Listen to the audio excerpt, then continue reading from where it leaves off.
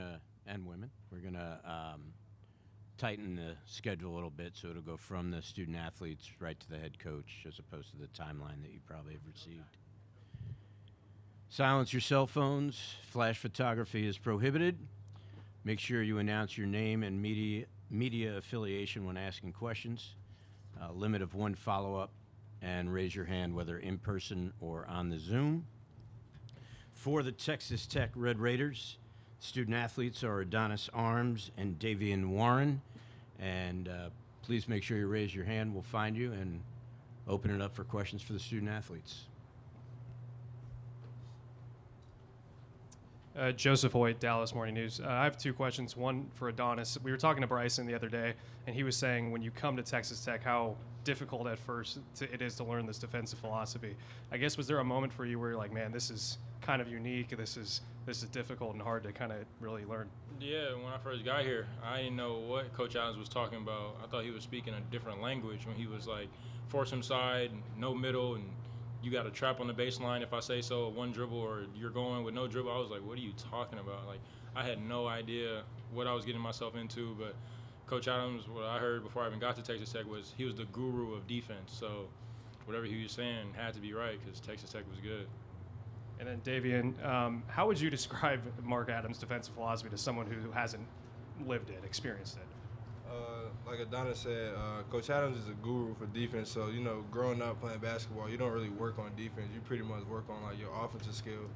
So uh, just coming to uh, Coach Adams is learning different uh, defensive techniques, and you know, uh, our defense is pretty much a team effort. So you know, what Coach Adams says, it, it pretty much works. Jon Teitel from HoopsHD.com. For either of you, um, you've played against some great three-point shooters this year, like uh, Kansas and Baylor come to mind. When you play a guy like Cormac Ryan, who's coming in making seven threes against Alabama yesterday, what sort of things do you do on defense to try to limit him? Uh, I mean, Davion already said it. It's a it's a team effort. Uh, we got to force him to do things that he's not as comfortable with. Like he's a great shooter. Like yesterday, he went seven from nine from three. Hit some crazy threes. I mean, we just got to try to eliminate those as much as possible and force him to do other things that maybe he's not as great as. But he's he's definitely a great shooter. Mason Horodisky with KAMC News back in Lubbock, Texas. Uh, kind of for both of you guys, Notre Dame's also a team that's made up of a lot of veteran senior leadership. Have you guys been able to kind of draw comparisons between some of the seniors that the Fighting Irish have?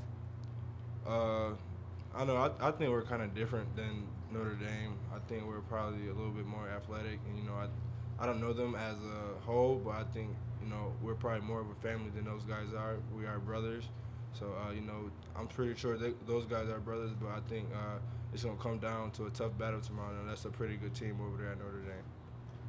Uh, kind of a follow up, I guess, on that. How do you guys feel like you've been able to gel so quickly together with having so many people coming into this program from, from so many different walks of life in college basketball? Uh, we pretty much all, you know, been nobody at some point of our careers, and uh, you know now we're starting to become players inside this college uh, basketball world. And you know, even off the court, we all hang out, we all do everything together, so we never leave each other behind. So even on the court, you you will always see us. Like whenever one of our brothers fall, we, we always sprint to go pick them up. Ariel Schaefer, KLBK back in Lubbock. Davion, this is your first dance trip to the big dance. So kind of comment on the experience so far, especially with the way that you guys came out yesterday.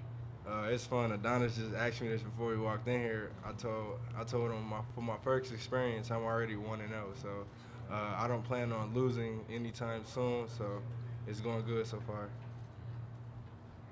Carlos Silva from the Lubbock Avalanche Journal for both of you all, Adonis and Davion. Had a good performance yesterday, but how do you kind of stack that and make sure that you're consistent and you continue to do that going into Sunday?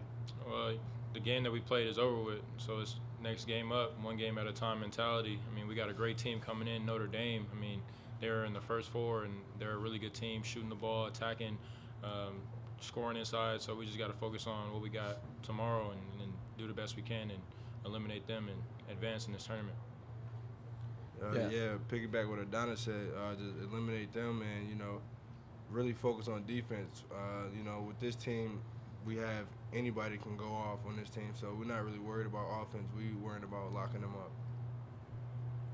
Adonis, um, Bryce Miller from the San Diego Union Tribune. You guys always play defense. Tech's been known for defense. None of that surprises anybody. But when you can score as a team the way you did the other night, how does that change things in terms of how tough it is to match up with you guys when, when you're playing that well offensively too? I think we're a really tough team to beat when we're we're playing the defense that we can play, and we have, like Davion said, unlimited firepower from anybody that can go off and score like that. I think that we're a really hard team to, to play against and to scout, in my opinion. When we can score like that and play defense the way we do, I think we're just a really, really hard team to beat. Alex Coyle, Arizona PBS. Um, all four teams that are playing on Sunday have had fan bases travel really well. What kind of environment are you expecting, and how important is fan support as you guys move on in the tournament? No, this Red Raider Nation, they travel, man. Like, they travel, so I, I think we're gonna have our family with us wherever we go, however far we go. We're gonna have Red Raider Nation right behind us. Yeah, what Adonis said, you know, Red Raiders uh, been behind us since day one. You know, they've been supporting us. Uh, you know, we did a very special thing by not losing in Lubbock. So, you know, they're going to support us all the way.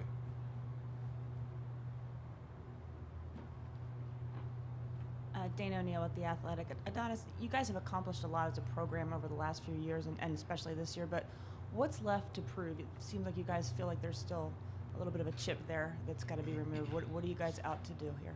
Oh, we out to win the whole thing. That's why we here, right? March Madness, we we here to win the whole thing. I mean, I, I believe in this team. I believe in Coach Adams, our coaching staff, everybody behind the scenes, and I believe we can do it if we just stick to what Coach Adams preaches to us every day. Continue to work hard, believe in each other, believe in yourself. You never know what will happen, and this is March Madness. It's the craziest time. As, as a follow up, what is the chip though? Like, what is, what what fuels you guys? We are we are underdogs. We've been underdog our whole life, so it's time to prove ourselves that we belong at this stage. like I've been to junior college. Adonis been to a Division two and junior college. Most of us been at lower Division ones, so we haven't been recruited. We weren't these five star kids. We're ready to prove that we belong. Uh, Joseph Hoyt, Dallas Morning News. On, on that note, for both of you, just well, how does it feel to actually? I mean, when you think about your journey for both of you to go from junior college to make it all the way to here to, to be playing in the tournament, you know, what would you kind of tell yourself back in junior college? You know, what kind of emotions come through? Uh, I'll just say, you know, never stop believing in God. Never stop working. Uh, don't quit. Uh, you never know what's around the corner. Um, I mean, if you quit, you have no chance of making it this far anyway. So why stop on your dreams when you can just keep working and eventually get there? So I would just tell my younger self, keep working. Yeah, just keep working. Uh, stay with the course. There's going to be bad games. There's going to be great games. There's going to be bad practices. There's going to be great practices. You know, you just got to stay, stay level-headed. Never get too high. Never get too low, and just believe in yourself at all times. Carlos of the Lubbock Avalanche Journal. For both of y'all, just uh, going back to that fan base, I know a couple of your teammates had some parents, family members in the stands. How much does that fuel uh, you all when you have the people that have kind of watched your journey, especially a Bryson Williams, who certainly has been a leader for you all? And not only that, but then just uh, can you kind of speak to the emotions personally, and then just for your teammates when you see people like that? What, when you guys had senior night, and then now with Bryson having his family and some other guys as well, like Buzo. Uh, I think for I'll speak for myself first. I always I always call my mom, my sister, my superheroes. So for them to see my journey from when I was at Mesa Community College, now I'm at Texas Tech in the second round of March Madness is it's surreal. I mean, I never would have thought that I would even be at Texas Tech to be honest with you. But um, just seeing them in the stands cheering me on, cheering my teammates on, and a guy like Bryson that's always working in the morning and just a straight dog, really. To see his family in the stands cheering him on and him still doing his thing, killing is is crazy. I mean, like he's a great player. To see his family cheering him on and Red Red Nation behind us cheering us on is a beautiful thing.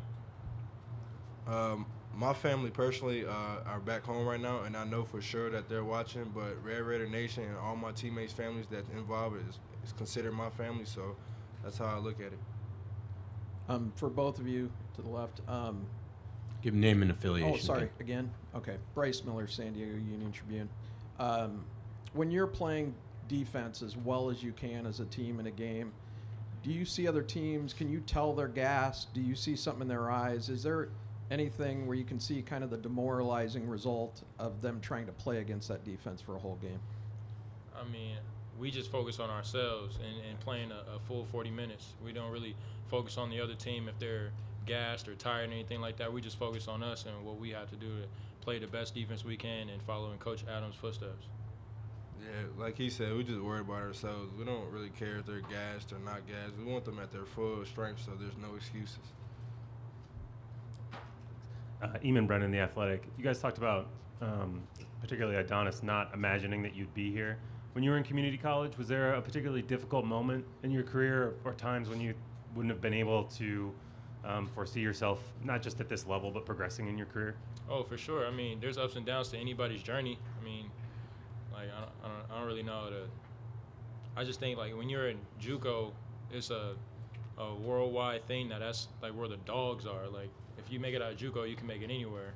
Um, I was told that I was a diamond in the rough when I was at Mesa Community College and never to quit. So, I mean, for the people that were supporting me back then to now, I just think I just thank them for never giving up on me and continuing to tell me that I have like a bright future and I'm really good at basketball and stuff like that to actually like keep me going.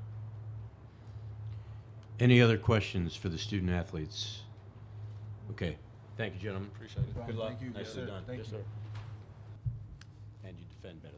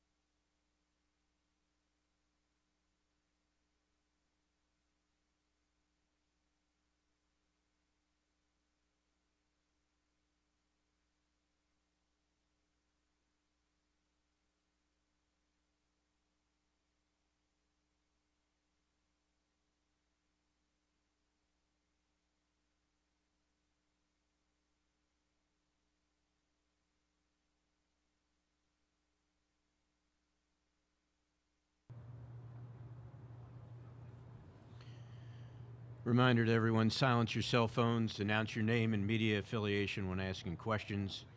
Limit of one follow-up. Raise your hand, whether it's uh, in person or on the Zoom. We have with I us. need you coaching my team. You're good at this. You defend better.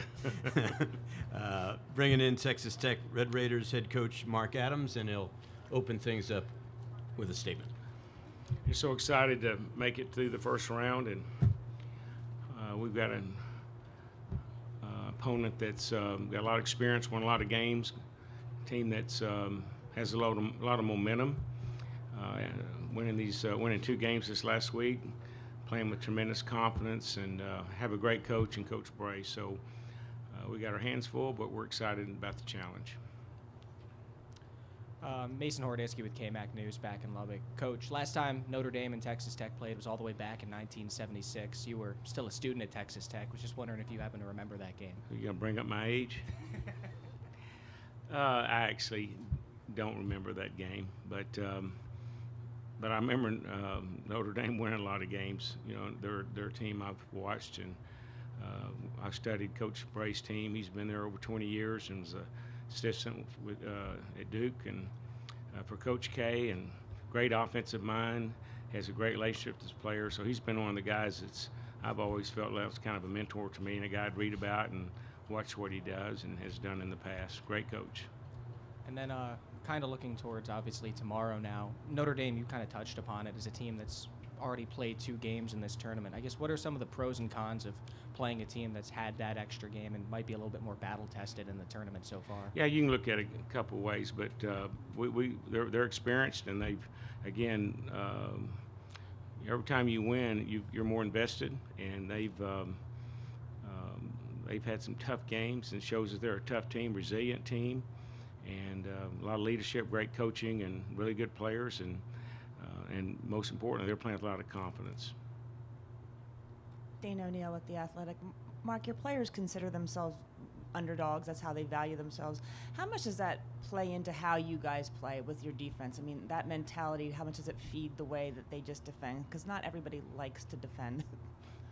Well, I resent that a little bit. So, well, you know, we have an identity, and that's defense, and our guys certainly have bought into it. We have great guys that um, players that understand how important defense is, and you know, as a coach, it's challenging to get some teams, some players to to uh, understand how important it is to, to guard them on on one end and then go down and score and and uh, be unselfish and.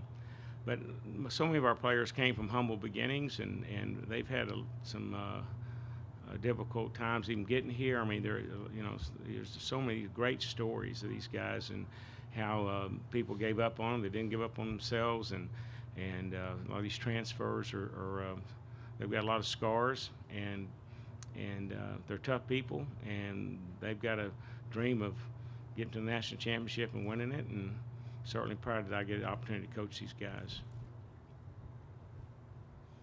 Carlos Silva, Lubbock Avalanche Journal. Coach, you alluded to some of those transfers. Can you speak to Adonis and what he brings to this team just from an outside perspective, not on the ball? Because obviously everyone kind of knows what type of player he is, but what k- kind of person is he based on his journey as, as you've kind of seen with your journey going JUCO, college ranks, kind of all those? Yeah, he's one of those that, yeah, started out in junior college. I think he was a walk-on, had to prove himself, and then um, on to Division two, and then Division one, and but he's a guy that's uh, been the player at, at a couple of the uh, programs, and then uh, at Winthrop, I think he was more of a um, well, he he was a six man, but unbelievable six man, and that's that's uh, a, a lot of uh, kind of the personnel of our team. We've had a lot of these guys that uh, were the player, and they come in here and and they're part of the pack, and they trust and believe in that. But Adonis, unbelievable personality, always has a smile on his face. It's contagious.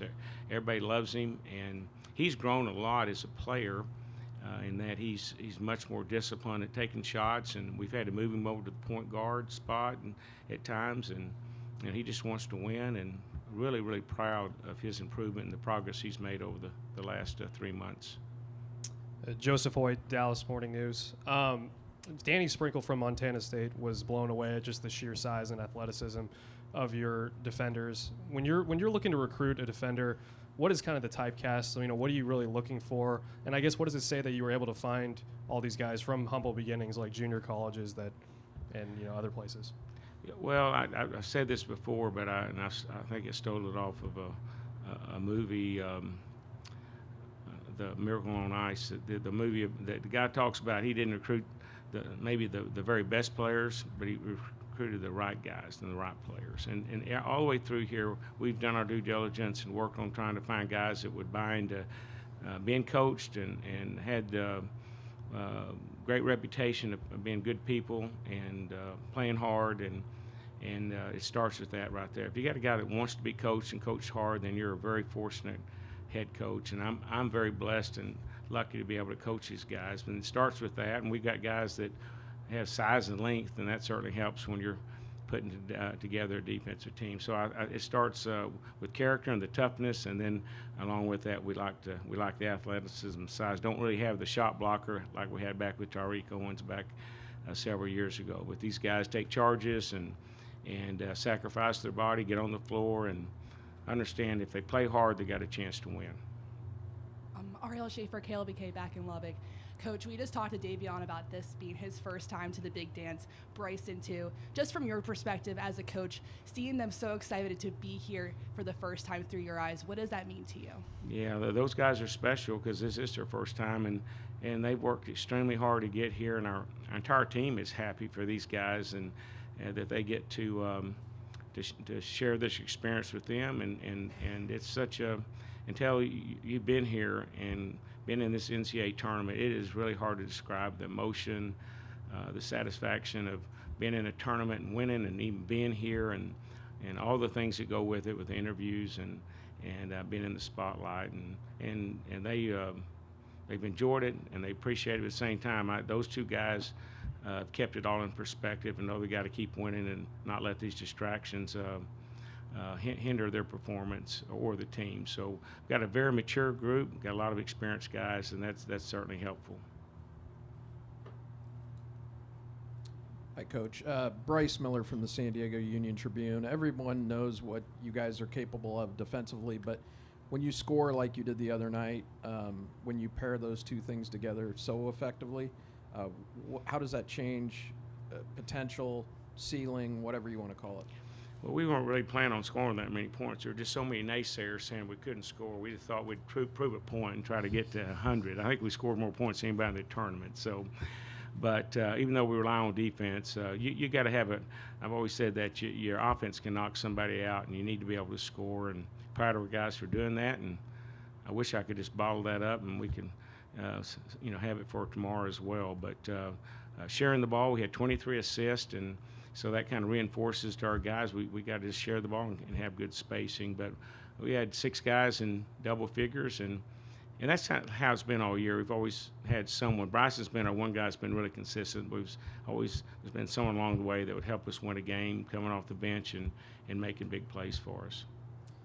Do you notice, and if so, how late in games the, the wear and tear on other teams against your defense? Uh, you know, do you see it in their eyes? Do you see it in their legs? Do you do you notice what that does to the other two opponents when you play defense at, at the top level? Well, we try to sell that. You know, that that's what we try to do, and um, kind of the old boxing mentality. We'd hope we can get guys where they just want to throw in the towel, and we wear them down, and we substitute a lot. So, uh, you know, that's the plan on.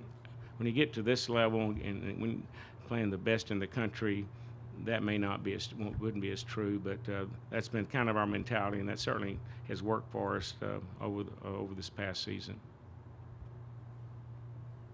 Coach uh, Troy Hirsch with uh, Fox 5 San Diego. With the one day you have to prepare for Notre Dame, without going too deep into X's and O's, what do you focus on most in this preparation day?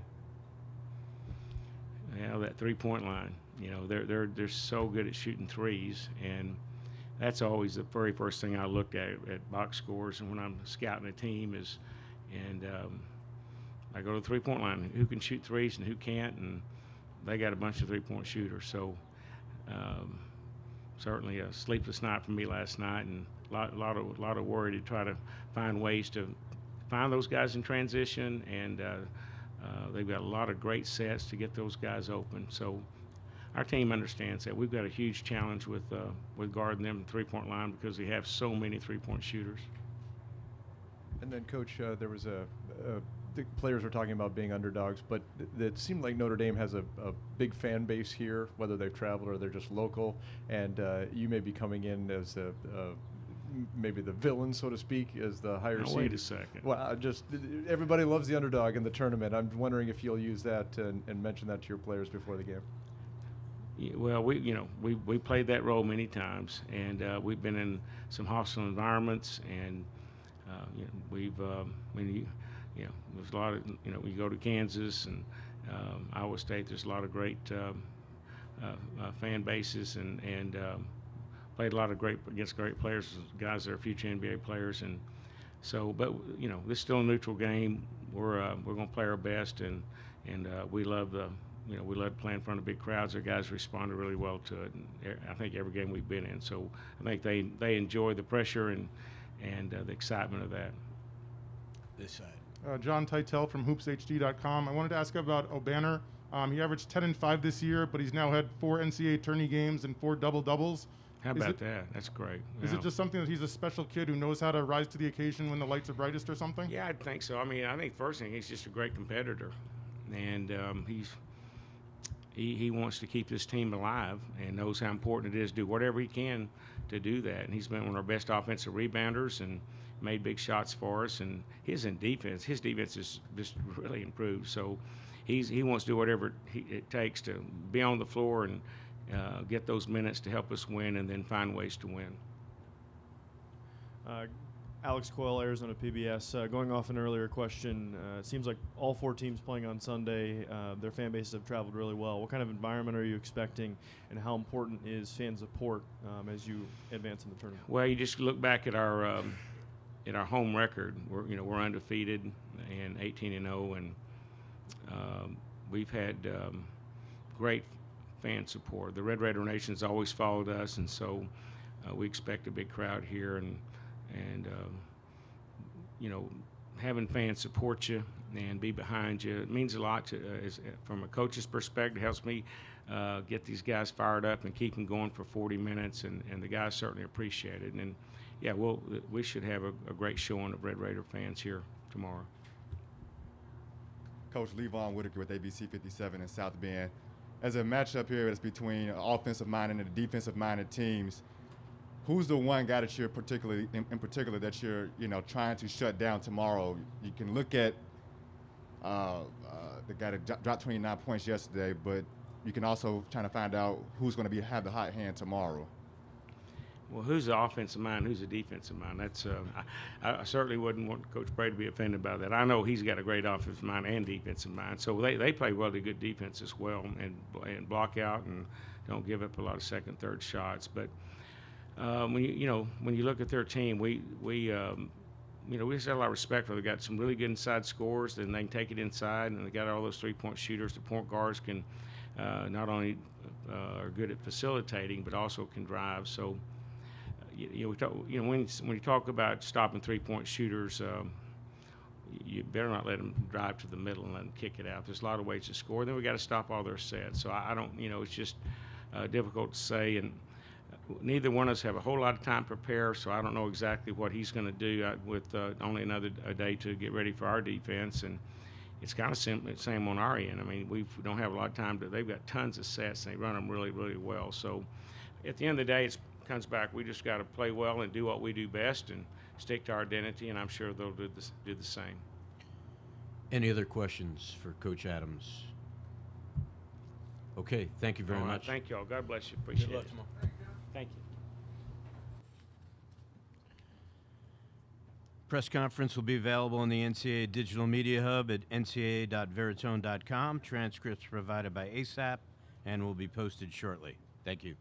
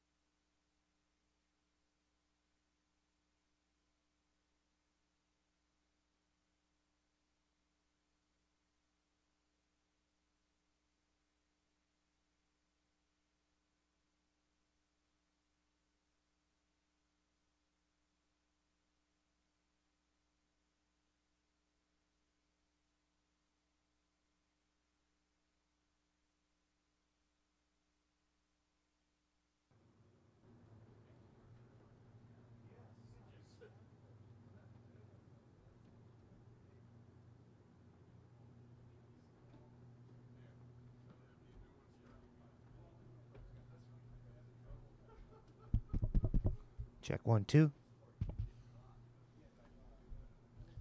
Check one, two.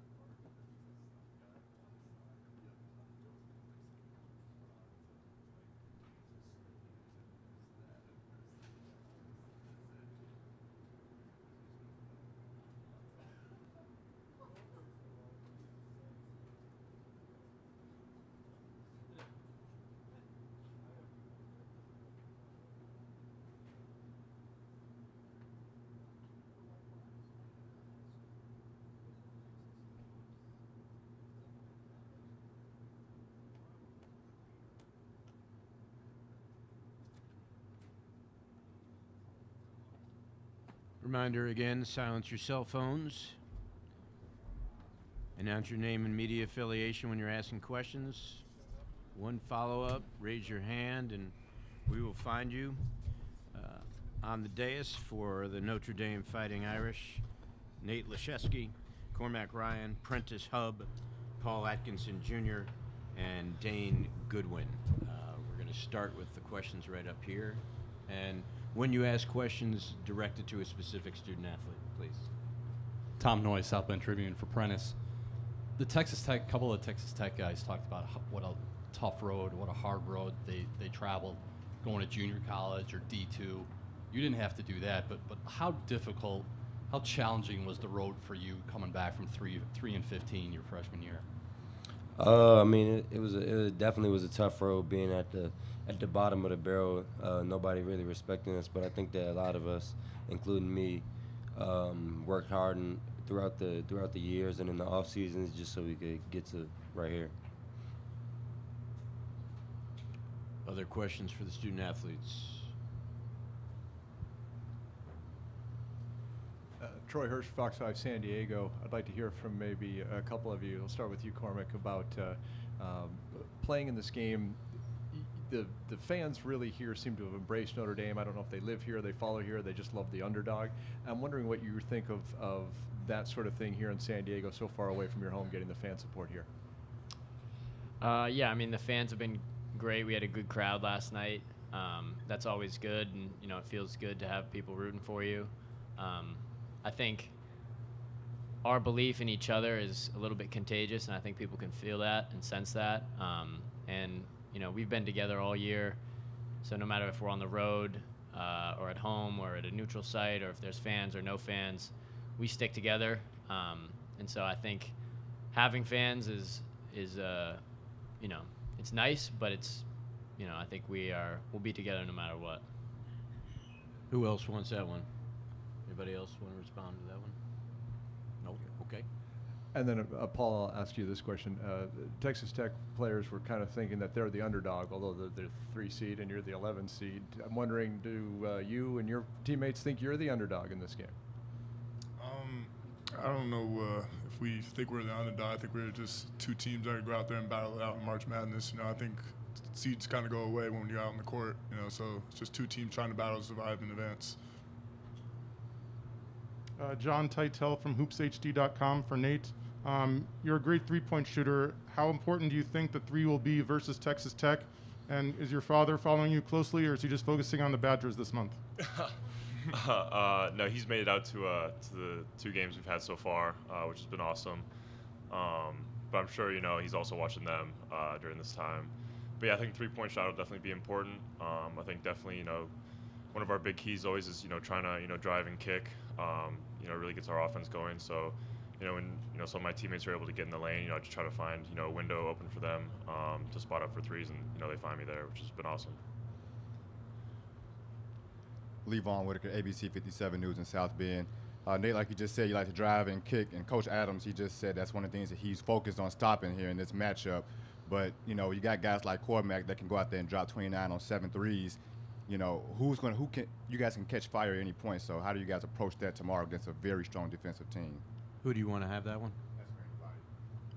I mean, I think it's just anybody's game. Um, uh, we we all got the ability to to, to um, have a great game, and I think that when we're all playing the right way, um, it could go any any which way. Anybody could really have a, a, a good day. So.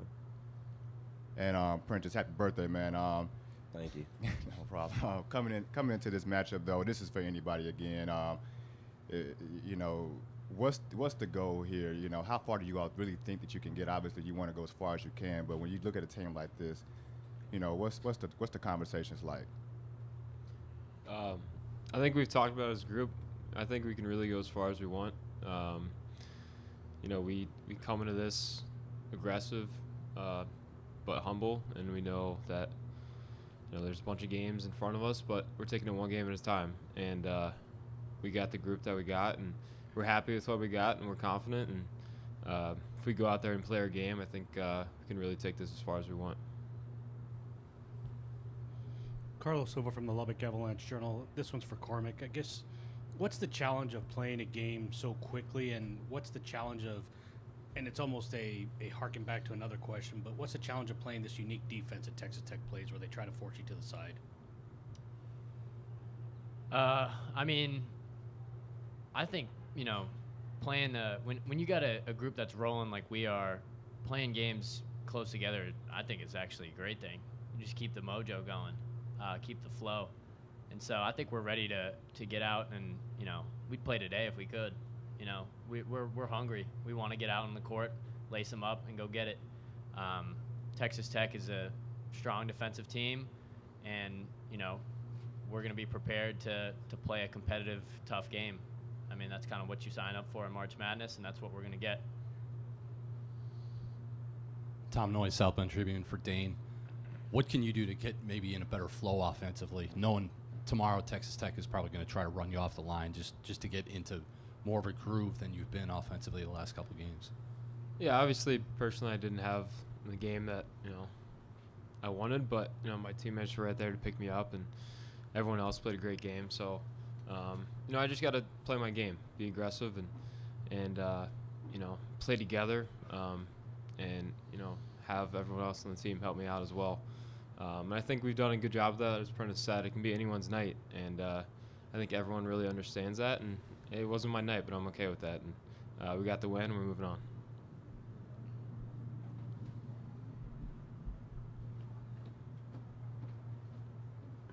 Uh, Alex Coyle, Arizona PBS. Uh, Cormac answered this earlier, but Dane, um, talking about your struggles, how can fan support really help you get back going and, and the environment uh, uh, get you going uh, shooting from the floor? Yeah, obviously, um, know, I think the crowd, you know, getting involved and getting really into the game is going to help. Um, and I think uh, you know, a lot of people are rooting for us, you know, because we've been at it for a couple years now and um, started to you know, get a little feel of it. And as Cormac said, you know, people are starting to really rally around us. And I think that I think that's pretty cool. So just being involved and, and really you know staying confident. Um, haven't shot as well as I you know I'd like the past couple games, but you got to keep that same mindset of you know um, everyone's here for a reason and you got to do you got to do what you got to do and, and go play go play your game and but stick to the script and, and play as a team as well. So um, just understanding that and understanding that we're going to win this t- win this thing as a team and, and not just individually is um, you know probably the most important thing.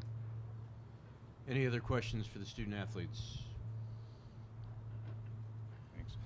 Uh, Bernie Wilson with Associated Press. Uh, Cormac, you said you'd play today if you guys could. Um, you will be playing a third game in five days. Um, and some people might expect you guys to run out of gas. What is your energy level and and whatnot going into tomorrow? I think we feel great. I mean, we've had stretches during the season um, where we've played three and five, you know, five and eight or whatever, um, three in a row. You know, we've had those stretches, and I think we're all we're a group of veteran guys uh, who know who know how to kind of prepare our bodies, recover the right way, take care of ourselves. Um, so we're gonna be uh, we're gonna be ready to roll on Sunday. Any other questions for the student athletes? Okay, thank you, gentlemen. Appreciate it. Good luck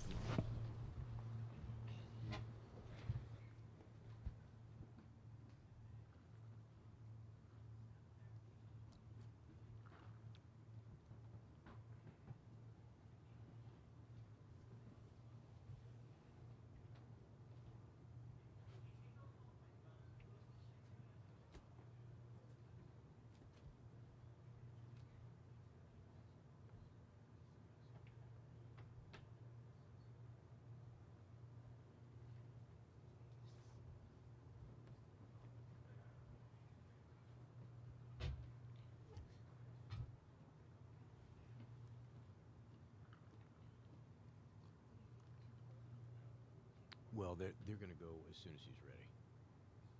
So, yeah, it's just they have a window. If they want to go early, if the head coach wants to go early, get right to it. Yep. It's like team. You take them by teams. The next team is the the scheduled time.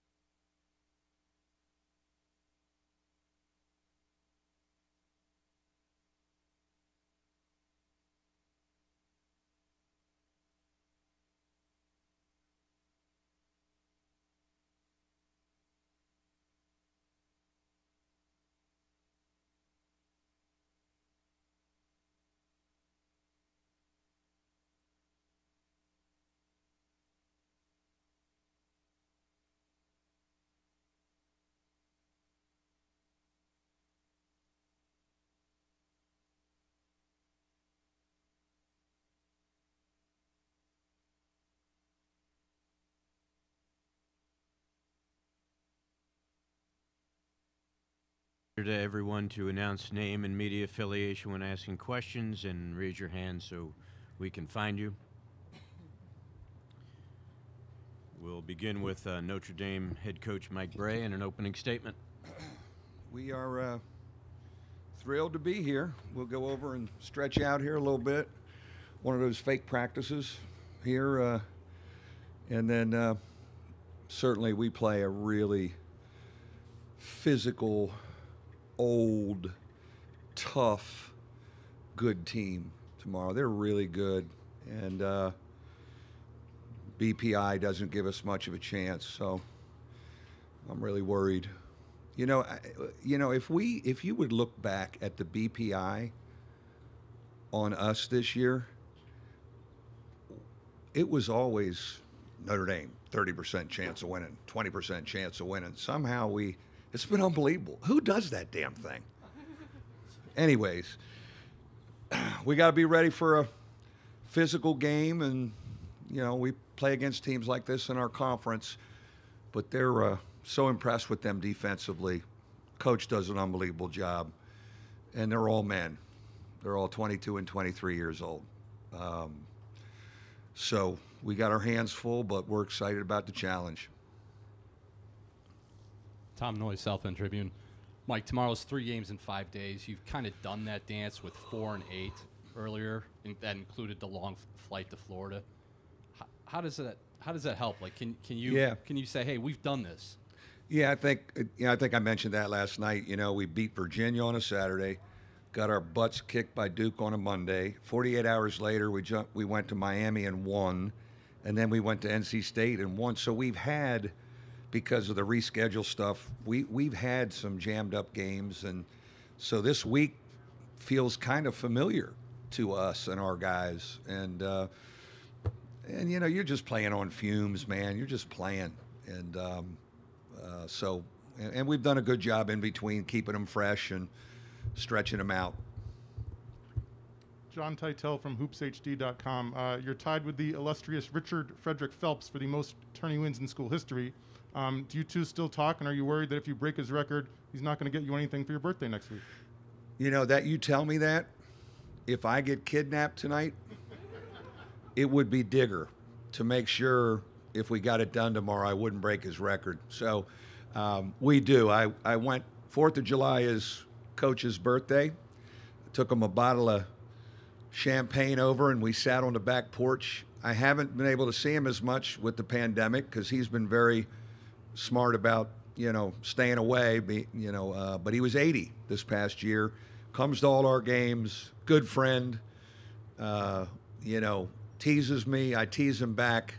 And uh, for 22 years, I've I've had to uh, you know manage a high maintenance. You know how you have to manage a high maintenance player. I just manage a high maintenance ex coach. No problem. Hey, Mike, this is Joseph Hoyt, Dallas Morning News. Um, you already touched on it a little bit, and you had a chance to, I know, watched them a little bit in person yesterday. But with Texas Tech's defense, what makes them unique? And I mean, how do you just describe it? the bodies and their stances. I have been so impressed. You know, you're talking about kids getting them in a stance. Hell, that's you do that at basketball camp. That's a station at basketball camp.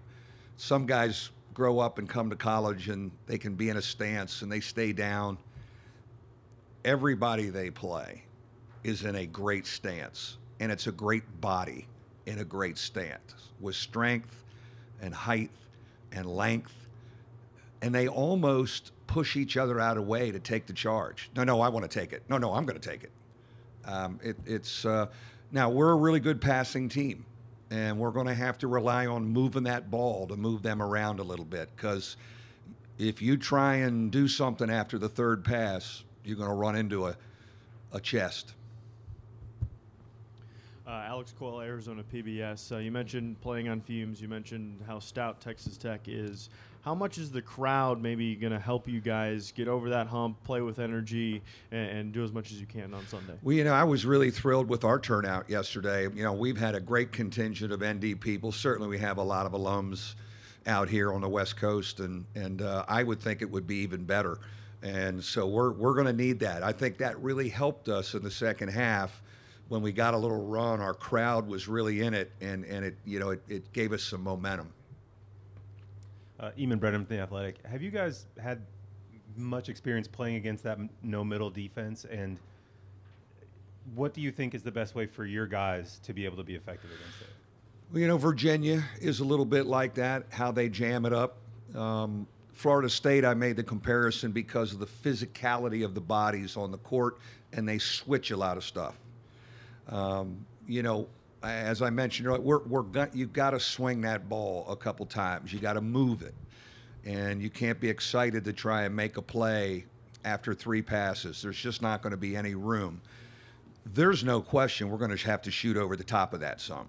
You know, it's jammed in. It's really jammed in on the help side.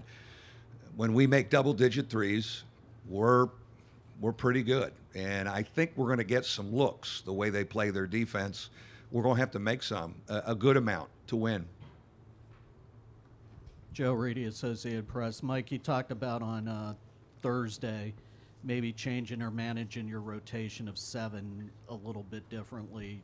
Do you plan on doing the same thing tomorrow? Well, the, you know, the the other day, you know, in the game yesterday, I had two. My two guards were in.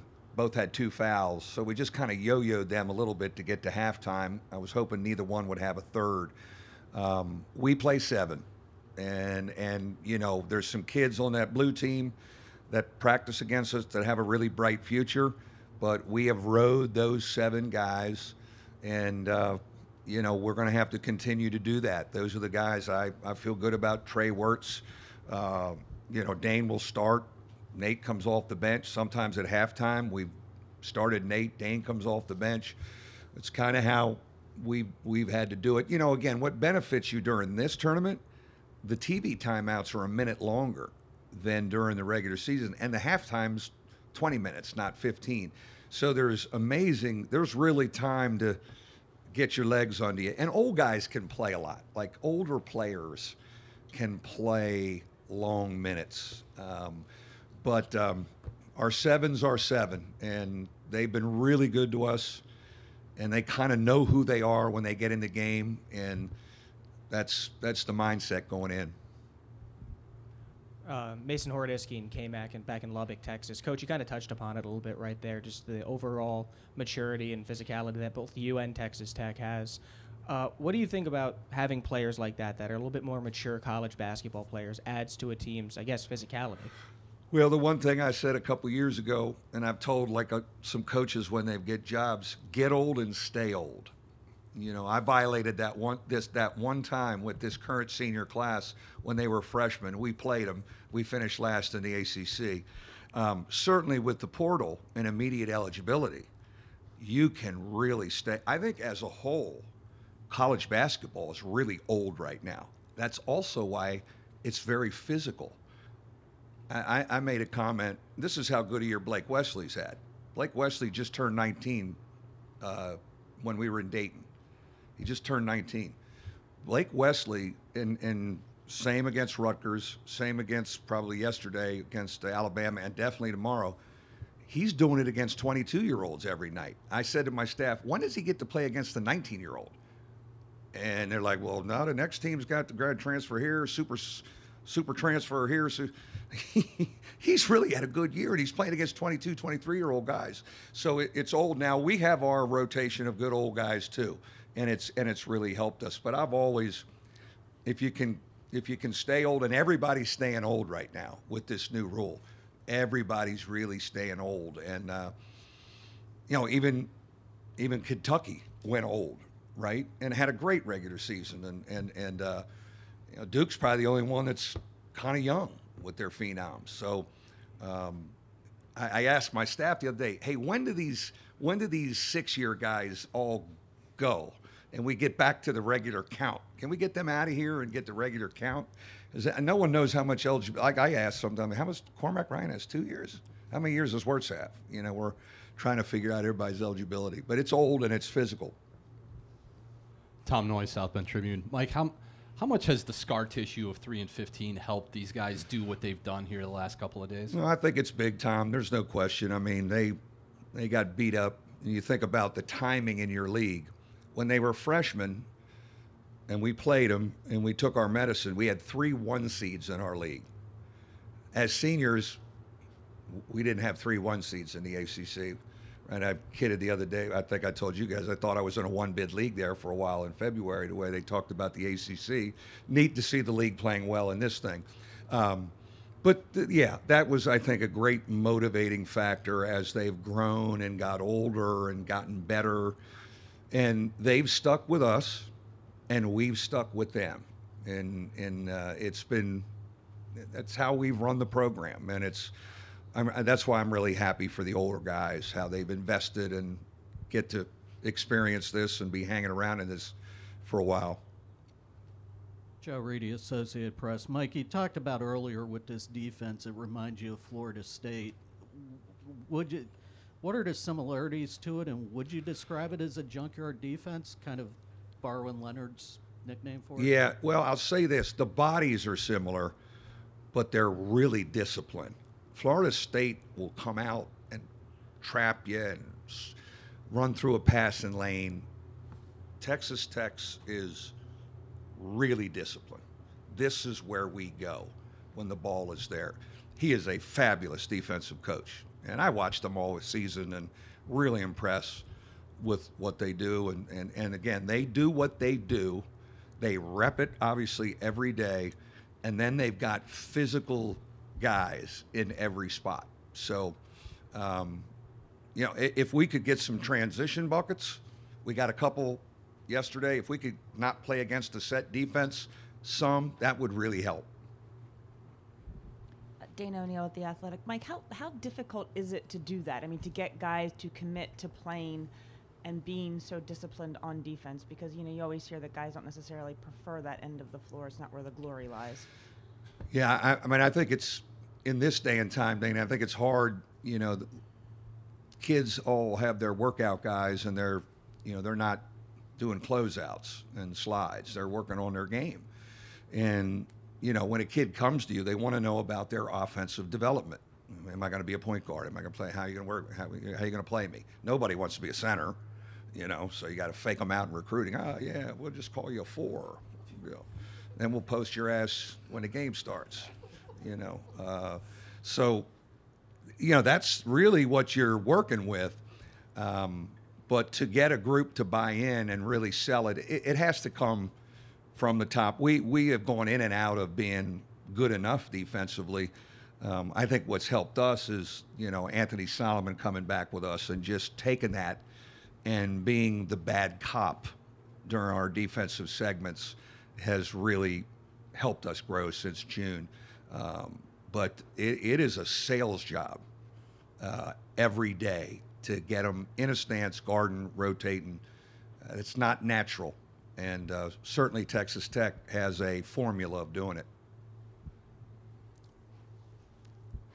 Uh, Coach Troy Hirsch from Fox 5 San Diego here. Uh, you started off by talking about uh, the chance that you had to win via the BPI. Yeah. Um, is that uh, is that fuel for you and your team? Oh yeah, I think it's been great. I mean, I I, I tried not to watch the TV during the day in February because I'd look up and go, "What? We only have a 25% chance of winning," and uh, we kid about it.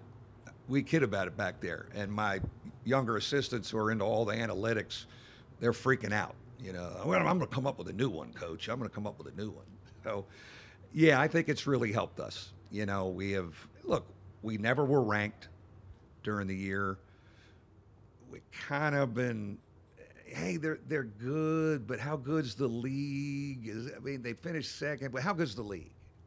You know, Duke Carolina, you- you know, we they they've lived that, we've lived that. I think it's been great fuel for us, no question about it. And you know, it's we're we're in a very similar scenario as I read the ticker again. Any other questions for Coach Brey? Thank you. Good luck.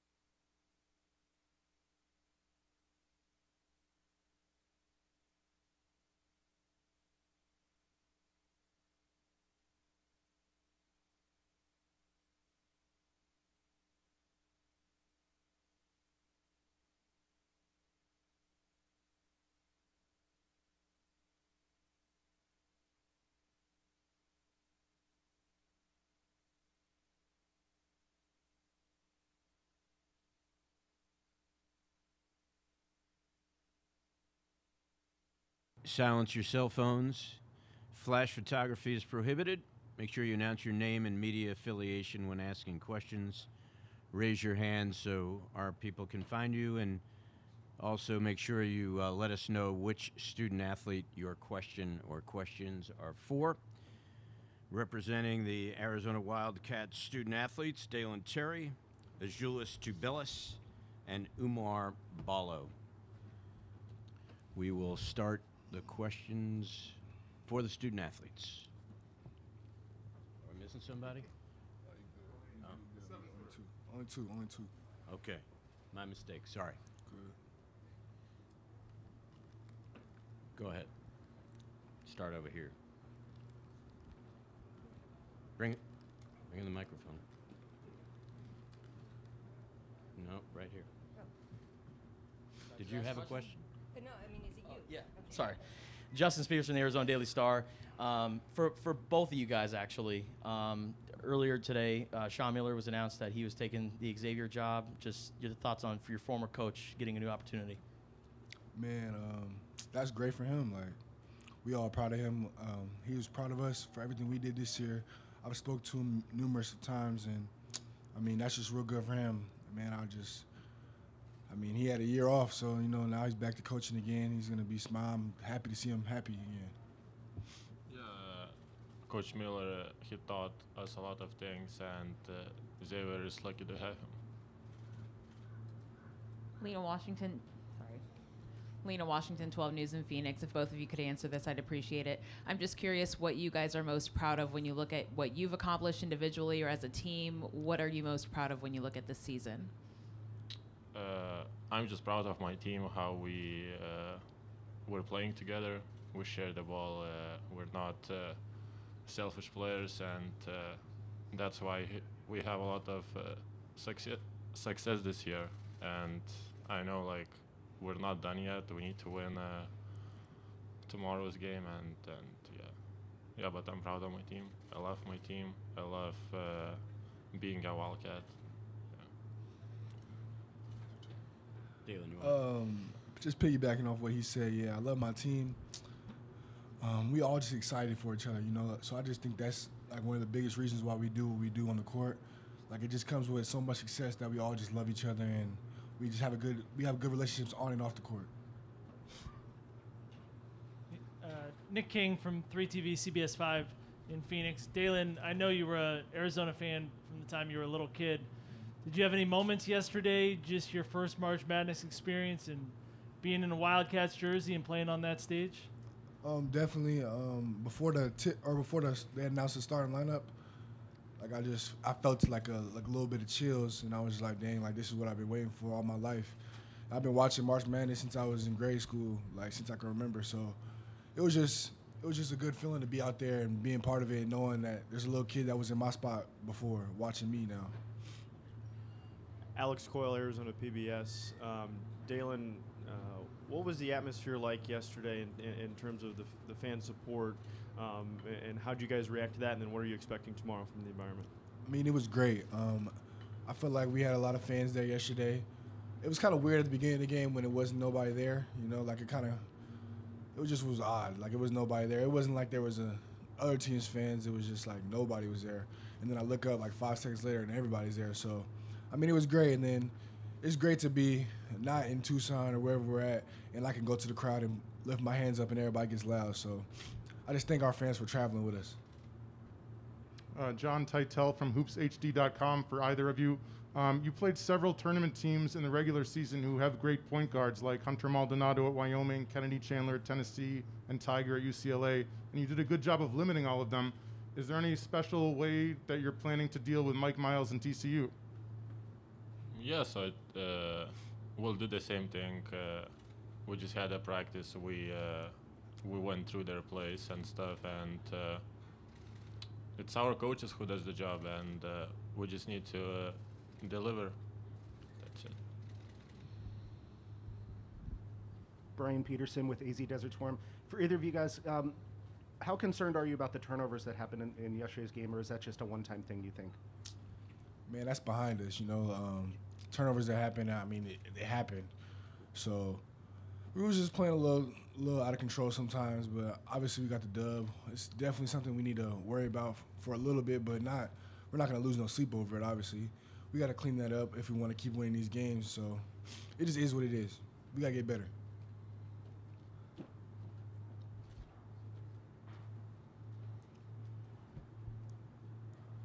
Uh, question, David Kelly, KVOA News 4 Tucson, for both of you, but first Azuolas. Azuolas, so many of you international guys did not grow up in this March Madness frenzy. So do you think you guys have a different calmness about it because you didn't have that hysteria of watching this whole tournament since you were seven years old?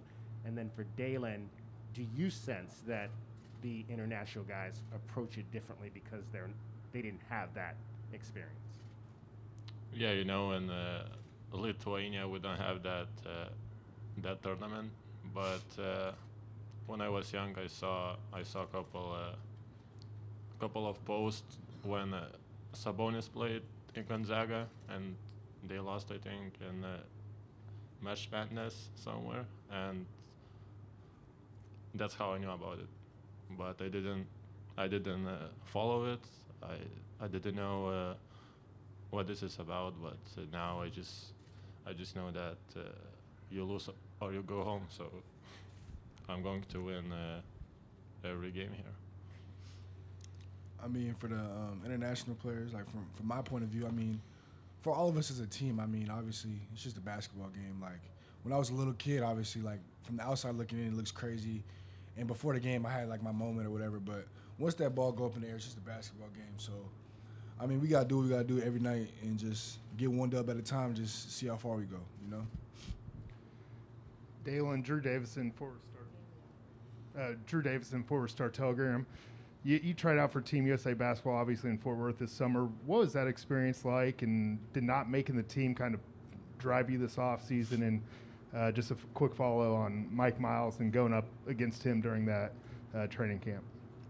I mean, obviously, I was a little, I was a little hot about it, you know, but it was a good experience.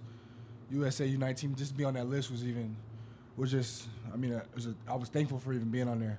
Mike Miles, yeah, he a good player. I played against him all my life since high school. Before that, and Coach Dixon, I mean, obviously he was the USA coach too. So, I mean, I'm familiar with them too. Um, I'm not, I'm not gonna look at this any type of different, you know. Um, I see him this summer, and I didn't make the team. It is what it is it fueled me for this summer and just coming back and seeing seeing Azuolas play against USA and seeing Ben playing against USA. I mean, obviously I was rooting for them that time, you know, but I mean it is what it is. I give them both their props. They're doing real good. They're both a tournament team, so I mean salute.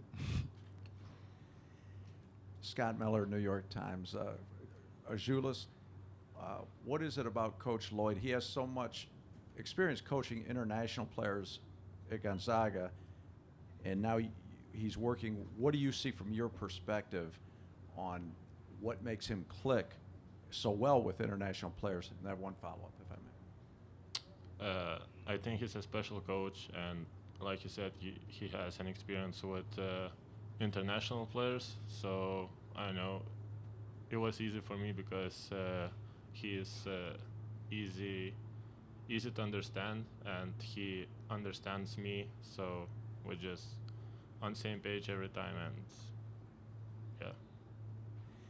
And a question for Dalen. With so many international players on your team, I was looking through the media guide, so many languages are spoken.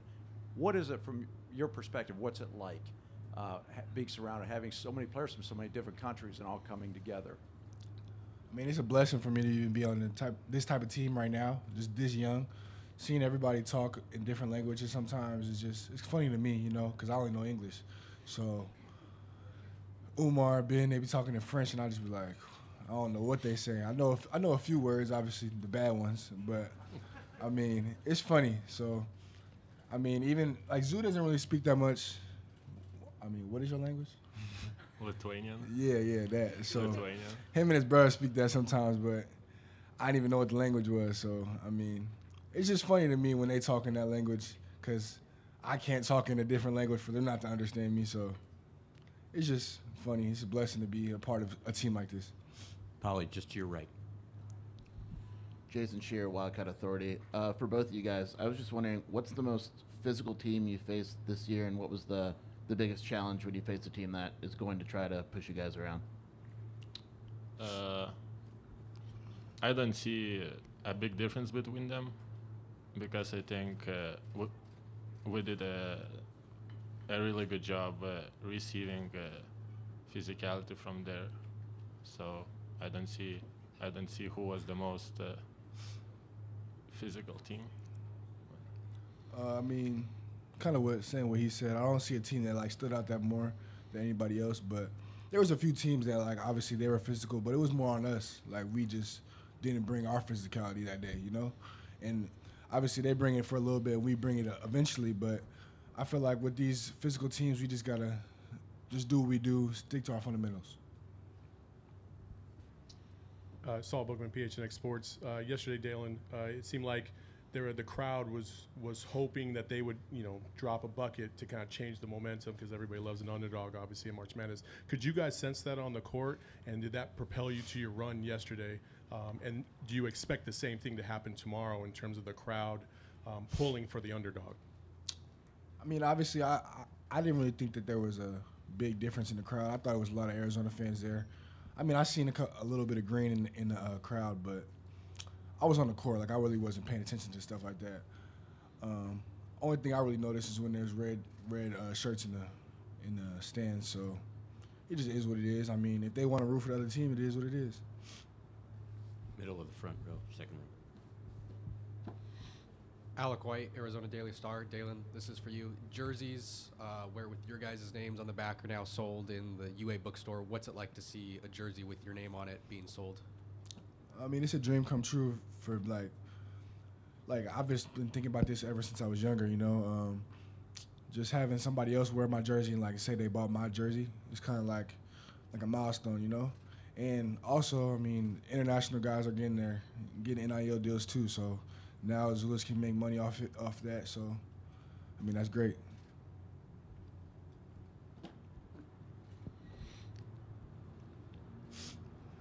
Troy Hirsch with Fox 5 San Diego. This question is for Dalen. Uh, uh, alluded to earlier about Tommy Lloyd and, and the uh, ability he's had to communicate with international players, but just from a, a basketball perspective and a, a, philosophy and an impact perspective he's had on this year, could you just comment on what he's done this year? I mean, Tommy Tommy knows basketball, and obviously, like his work shows, he's been in basketball a long time. So we just listen to everything he says. Um, obviously, he's not going to steer us in the wrong direction, you know. So, I mean, he's a he's a great coach. Like I thank him for everything every day, you know.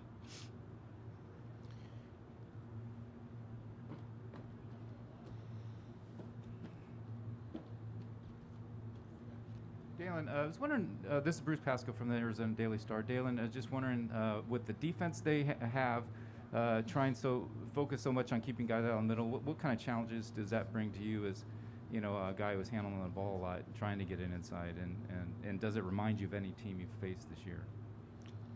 Um, I mean, we've played against teams that try to keep us out of the middle, but obviously we're just gonna stick to our game plan and just do what we do.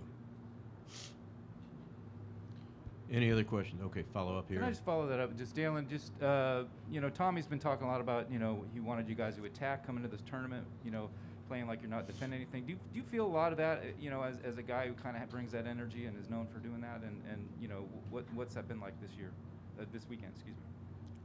I mean, definitely, um, we definitely have to be in attack mode, and it doesn't really matter what team we're in. Tommy was making that, making that a point across across the board that we just got to be in attack mode. This is a tournament game, like this is March. Like anybody, anybody, like it's just March. Like any anything happens. So, I mean, we got to be in attack mode, and we just got to come out throwing punches. Yeah, Steve Rivera, All Sports Tucson. Dalen, how much fun are you having playing the point? It looks like you're enjoying it, and and uh, Kerr's probably waiting to to take it, take over again. But how much fun are you having? Um, I mean, I mean it's fun. I mean, I played point in high school, but I'm not look, I'm not really having that much fun. I mean, this is basketball. I mean, I have fun off the ball too. So, I mean, I just look at it as an opportunity that presented itself, and obviously, I want Kerr to come back. Like I want him to get healthy again. So, because I know when he's healthy and doing what he does, we're at our best. So, I'm just hoping he comes back. Any other questions for the student athletes? Okay, thank you, gentlemen. Thank you. Appreciate it. Good luck.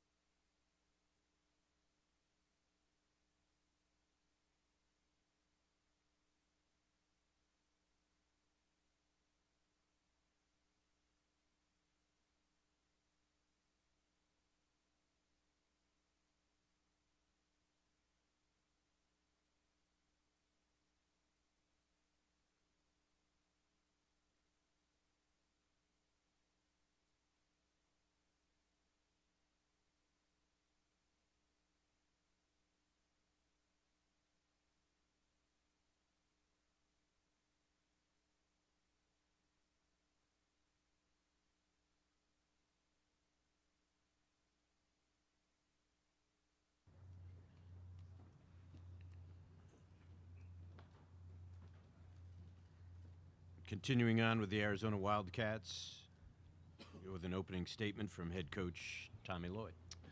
Uh, well, good to see you guys. I mean, I always tell you guys it's uh, it's great to be playing meaningful games, and uh, obviously this is a, a meaningful game, and we're really excited for the opportunity. And TCU played great last night, and so it, it's going to be a battle, and uh, you know hopefully we'll be ready for it. All right, we'll take questions now and make sure you raise your hand so we can find you.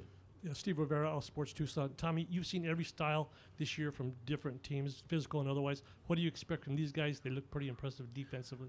Well, yeah, they're, they're great defensively, and you know, they're. It seems like that whole Big Twelve is, you know, in in, in Tennessee have tilted towards that uh, that no middle, you know, try to keep you on the side defense, and, and they're good at it. And um, and then, you know, on top of that, they're extremely physical and they're a great rebounding team, and that's always been uh, a trademark of Jamie's teams. Justin Spears from the Arizona Daily Star. Um, you know, TCU, like you said, they're a great rebounding team, great defensively in the front court. What kind of challenge do you think this would present for guys like Christian Azuolas? Well, I mean, it's obviously it's a great challenge, but um, you know, I, I, mean, I think we're pretty good at those two things too, and so, you know, we're we're going to come out and we're going to battle, and you know, and, and and you know, I just told our guys, you know, you, you got to be ready for the physical battle, and you you got to embrace it, and and and and and it, it's if you do it, you have a really good chance to be successful. If you don't, it's going to be a tough night. Tommy David Kelly, News 4 Tucson. Two part question. First question being I asked a couple of your players what their favorite NCAA moment was. Two of them said the Jalen Suggs shot from last year. Just curious if they've asked you about that and what you've told them about that moment from your perspective, and I'll follow up with them. None, none of them asked me about it. No, they haven't. And uh, you know, but I but I did I do always tell them this. I mean, if you end up with a you know a buzzer beater or a half quarter, shoot it to make it, and and and, and that's what you do. Don't leave it short. And just, you know, all, all of us that grew up here in the United States have been a part of this March Madness hysteria since we were young, but a lot of your international players have not. Do you think they're bringing a different calmness to this event because they didn't grow up in that? Well, I mean, you know, I, I always tell our guys we gotta, you know, when when things get chaotic, and you know, and, and they did this year in, in a good way. When when you start having a successful season, you have a great fan base. You know, you're going to get a lot of attention, and, uh, and things start getting a little chaotic, and, and we just try to do a really good job having tunnel vision and staying locked in at the task at hand. So I think I think our international guys are, are handling that, handling this the same way they've handled everything all year. Joe Reedy, Associated Press. Tommy, it, you guys have, it, with your size advantage, you've been able to wear teams down most of the season, especially when you've had your three bigs in there. But with Texas, with with TCU, is there a team similar to what you faced this year that can match you with that size and physicality? Hmm. You know, I'd have to I'd have to dig deep. I mean, obviously Tennessee was extremely physical, and you know UCLA, you know they might not have the height, but they're extremely physical, and uh, you know, and hey, hey, we're, we're a physical team too, you know, and I, I don't I don't want people to mistake in uh, you know us scoring a lot of points for not being physical. So we take we take great pride in being able to battle physically, and, and obviously tomorrow presents a great test. Back of the room. Uh, Alex Coyle, Arizona PBS. Uh, after the game yesterday, you voiced a little bit of a frustration with the, the, fans not given enough time to get back into the arena for session two. Um, what kind of environment are you expecting tomorrow, and how important is fan support to make a tournament run? Well, well, the, environment better be great, and you know, you you. You, you try to have a great regular season, a conference season to set, yourself up to get a good seed. Because if you get good seed, you're close to home. And, and, and this is supposed to be a great advantageous you know fan base for us and yesterday we didn't feel it and listen i know we got a great fan base and i know some of them are going to take it personal but they got to be better tomorrow they got to bring it tomorrow i mean as fans and i know maybe you don't get your blue collar fan to as many of these games because they can't afford the tickets you know which is that's one of the things i was disappointed with the ncaa you have people paying a lot of money for these tickets and for them to come in 10 20 minutes late for a game is crazy you know i mean i think they got to consider the average fan who's paying a lot of money to come to these games, you know. Um, but our fans got to be better. And you know what? And, and, and the fans that are lucky enough to have tickets to this and, and financially be able to afford it, they need to get out of the seats tomorrow and they need to bring it. And, and they need to help us advance. I mean, that's my message to them. Don't sit back and wait. Help us. Uh, Nick King from 3TV CBS 5 in Phoenix. Um, Tommy, I know Dalen does a lot more than scoring, but for him to have the last two games now, I believe his career high in scoring. What have you seen from him, and do you think there's any part of that that is him enjoying a big stage? Uh, I mean, he's he's he's he's really come a long way as a player this year, and he's really developed. And you know, I mean, with you know with Kerr not having played, you know, maybe you know we need a little bit more of a scoring punch out of him, and he's been opportunistic. You know, and, and Dalen's a a good developing shooter, and if teams are going to play off him, I'm comfortable with him taking those wide open threes. And uh, and you know, and he steps up and makes them at critical times. I mean, they've they've really been a catalyst for us these last couple games. Dana O'Neil at the Athletic. Tommy, talking with Christian, he said that this summer you spoke, you spent time with him, kind of you know, niggling on some little things with, within his game to make them better. What did you concentrate on, and, and, kind of what's been the upside of all that work? Well, the first thing is is is, is, is love him. And, and let him understand how good he can be, but there's going to be a process to it, and and then we just start at square one. And honestly, with him, we started at you know catching the ball, securing it, and hitting it off the corner of the square. I mean, hundreds and or thousands of times, you know, to, to get his fin and working on his touch on his hook shots, and then you know it's, it's been ongoing development and maintenance since then. But but Christian gets a lot of credit because you know bigs take longer to develop. I mean that that's everyone knows that. and and sometimes you know they just don't have the patience or the wherewithal to get themselves there. And he he's he'd he'd built up a, enough of a foundation his first couple years to where if he really poured time into it, he was ready for a jump. And and and we try to take advantage of that. Jon Teitel from hoopshd.com. Um, I was just wondering how well you know Jamie. I think both of you have been in like a dozen NCAA tournaments each in the past 20 years, but I don't think you've ever faced each other. Um, no, no, I've known Jamie, you know, well enough throughout the years. I mean, he's friends with, you know, all my senior coaches in the coaching tree, you know, uh, and um, and so yeah, I've gotten to know him over the years, and he's a, he's a great guy, and you know, he he always goes out of his way and, and talks to me, and has been nothing but but good to me and cordial. Uh, Tommy Troy Hirsch with Fox 5 San Diego. Uh, Baylor knocked off earlier today and a one seed. I don't. Do you bring that up to your team at all? Like, hey, just because we have a number one bias doesn't mean we can't get beat. No, I mean our guys know that. I mean they they, they understand. I, I I told them, you know, hey, first game's tough, and then the second game's tougher. I mean that that's how these tournaments are. So you know we we, we I mean TCU has our full attention, and we understand if we don't do, do the things we we need to do, you know, we might not be successful. Joe Reedy, Associated Press. Tommy, just just any update on Kerr Kriisa? Because notice he was out for pregame warm-ups yesterday. Just yeah, I mean he's making progress. You know, he's continuing to make progress day by day, and we're going to get there tomorrow and, uh, and and and see how he looks. You know, I mean, but uh, but uh, but but day to day, it's getting better. And like I told you guys, he's closer to playing than not playing. So we'll see what tomorrow brings. Yeah, Steve Rivera, All Sports Tucson. Uh, Tommy, is there a point where you have to rein in Dalen? It looks like he's having a lot of fun on the court. Obviously, off the court, it's very personable. But do you have to kind of say, okay, you know, relax a little? I mean, no, I mean, I just tell Dalen, take a breath, get your feet on the ground, and, and when he does that, he's great. Sometimes he gets a little sped up, and I, I can I can see when it's happening, and then you know I just talk to him, and he, you know, he, he takes a breath, and Justin's a little bit the same way, and you know, and, and those guys, I'll give them credit when when I give them those little reminders, they respond, and then they play really well. uh, Bruce Pascoe, the Daily Star in Tucson. Uh, uh, Tommy, just wondering the you mentioned Tennessee. I, I was wondering around the Pac-12, you anything seen anything close to this the the no middle and i- if it was Tennessee or something similar, uh, that was a game where you guys got in a hole early. And w- what do you have to do to adjust uh, in that Um, situation? yeah, I mean, no, no one's playing as committed to the no middle stuff, you know, uh, in the Pac-12 uh, as these guys are. Um, you know, we, but the first thing you, you just gotta you gotta have you gotta be strong with the ball, you know, and, and and you gotta play with a thrust, and you gotta play with our normal pace and and, and movement that we do, and then and then you gotta trust your fundamentals. You know, you, you gotta lock in, you gotta play with your feet on the ground, you gotta mix in some back cuts, a pass fake. You know, just like hey, I always tell tell our guys, play good basketball. I mean, that's what we got to do. D- does in a way does that maybe a good thing? You're talking about you know wanting this team to attack. Now they're going into a game where they're going to have to really uh, you know get get physical. I mean, it- it- yeah, I mean, it's it's it's a it's a great thing. I mean, that that's what you're going to have to do to keep advancing in this tournament, and so and that's what we've been building for all year. So, I'm excited to see how it looks tomorrow. Coach, we have one call off the Zoom. Uh, Lindsay, if you could announce your name and affiliation. Hey Tommy, it's Lindsay Schnell from USA Today.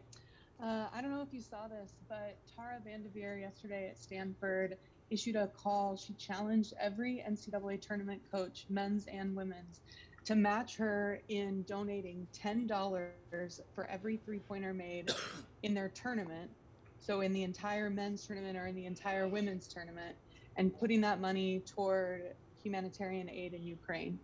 I wondered if you knew that and if you would take her challenge. So far, she owes about three thousand dollars because there's been about uh, 300 threes hit so far in the women's tournament. Yeah, I mean, I, I would definitely look into it if, if I had the information. I didn't know that, but uh, I mean, obviously, there's a lot going on in our world right now, and you know, I, I'm pretty myopic at the moment, unfortunately. But uh, yeah, for sure, Lindsay. How's your dad doing for one, and two, um, you know, it, it's give me the information, and, I, and for sure, I'll definitely look into it. Okay, he's gonna be thrilled you asked, and I will. Uh, I'll get the information to you. Mick Cronin said yesterday, just tell Tara to send me a bill. nice. Any follow up? Thank you. Okay. Any other questions for the coach? Uh, Brent Schrotenboer, USA Today. There are a number of teams in this tournament that are still under the cloud of an un- unresolved NCAA investigation, including yours. I wondered if uh, that has affected you in any way and if it's bothered you that it's taken this long. Um, you know, when I, when I took this job, I knew what I was stepping into, and uh, you know, obviously the the administration's been 100% transparent, and uh, you know, n- no one in the program had anything to do w- with what had transpired before. Um, for me, I would just say this: I, I wanted I wanted to do a good job for these guys this year, give them a chance to go to the NCAA tournament. You know, because I was pretty certain that this year we'd be fine, and and, and I, I I feel good moving forward that Arizona's been very proactive in, in making sure that we're going to be tournament eligible. You know, long term. So um, that was my main focus: is making sure this year these guys are a great group of young men, and, and they get the opportunity to experience this tournament.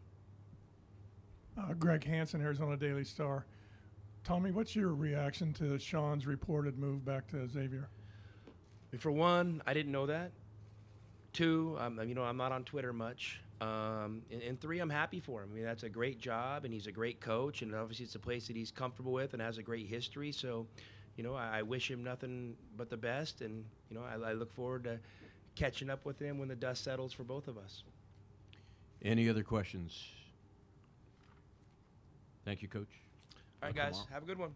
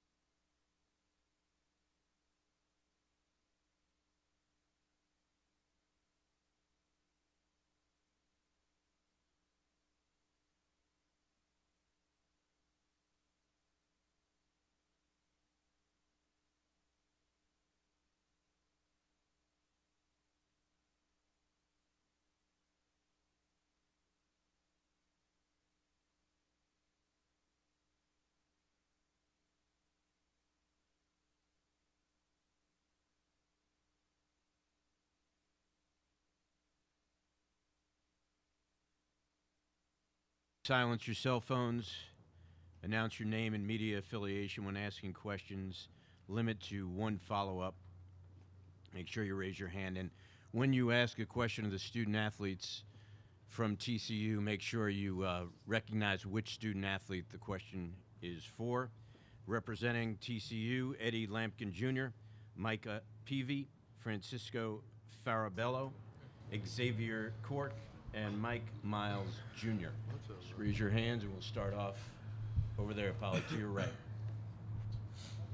Drew Davison for Star Toger. And this is for all you guys. Just does Arizona's offense remind you of anyone? Obviously, KU statistically uh, was Big 12's top offense, but when you watch Arizona, um, a- anything stand out, and, and how big of a challenge is it to slow them down? Want me to go first? You want me to go first? Yeah. Well, for me, it's just I seen they play high low and battle with Kansas, McCormack, Lightfoot. Uh, they play around the rim a lot, and it'd be a good matchup for me, and I'm prepared for it. Um, piggybacking off what Eddie said, uh, they remind me a lot of how Kansas gets in transition and scores a lot off of that. So we're just gonna have to try really hard to stop them. Anyone else want? I mean, yeah, uh, Kansas, like of course, like they have two bigs that are really good. Uh, ceiling, uh, they're really good in the paint uh, and around the rim. So ball pressure is gonna be a big key for us. Uh, don't let the ball get in the paint so easy. And as they said, like transition. In the back, Polly. Uh, this is for uh, Mike and Micah. Uh, Mike, Just give, start- uh, give, uh, name and Oh, I'm sorry, yeah. Uh, Troy Hirsch with Fox 5 San Diego here. Uh, Mike, um, TCU has never advanced to the second round. I'm wondering what this would mean for the program to get past this round. Uh, it would mean a lot. You know, we made history yesterday.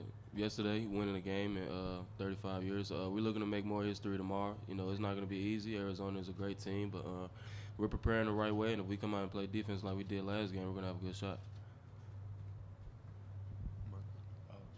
Uh, what was? The, can you say the question again? I'm sorry.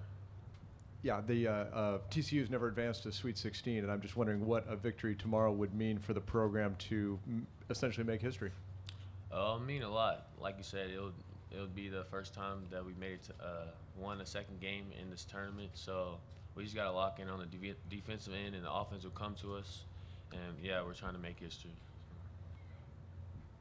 Uh, Colin Post TCU 360. Really, for any of y'all, I know you guys played a lot of games to end the season, but just how nice is it to have this off day where there's no travel, you're not playing a game to get prepared for a big game tomorrow night? Uh, I feel like this is something we really needed, uh, especially lately.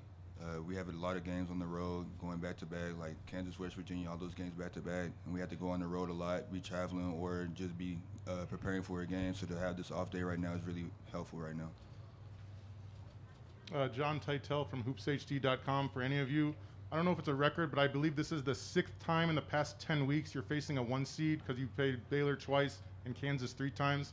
Any lessons learned about what it takes when you're facing the best of the best? Mike, you can start with it.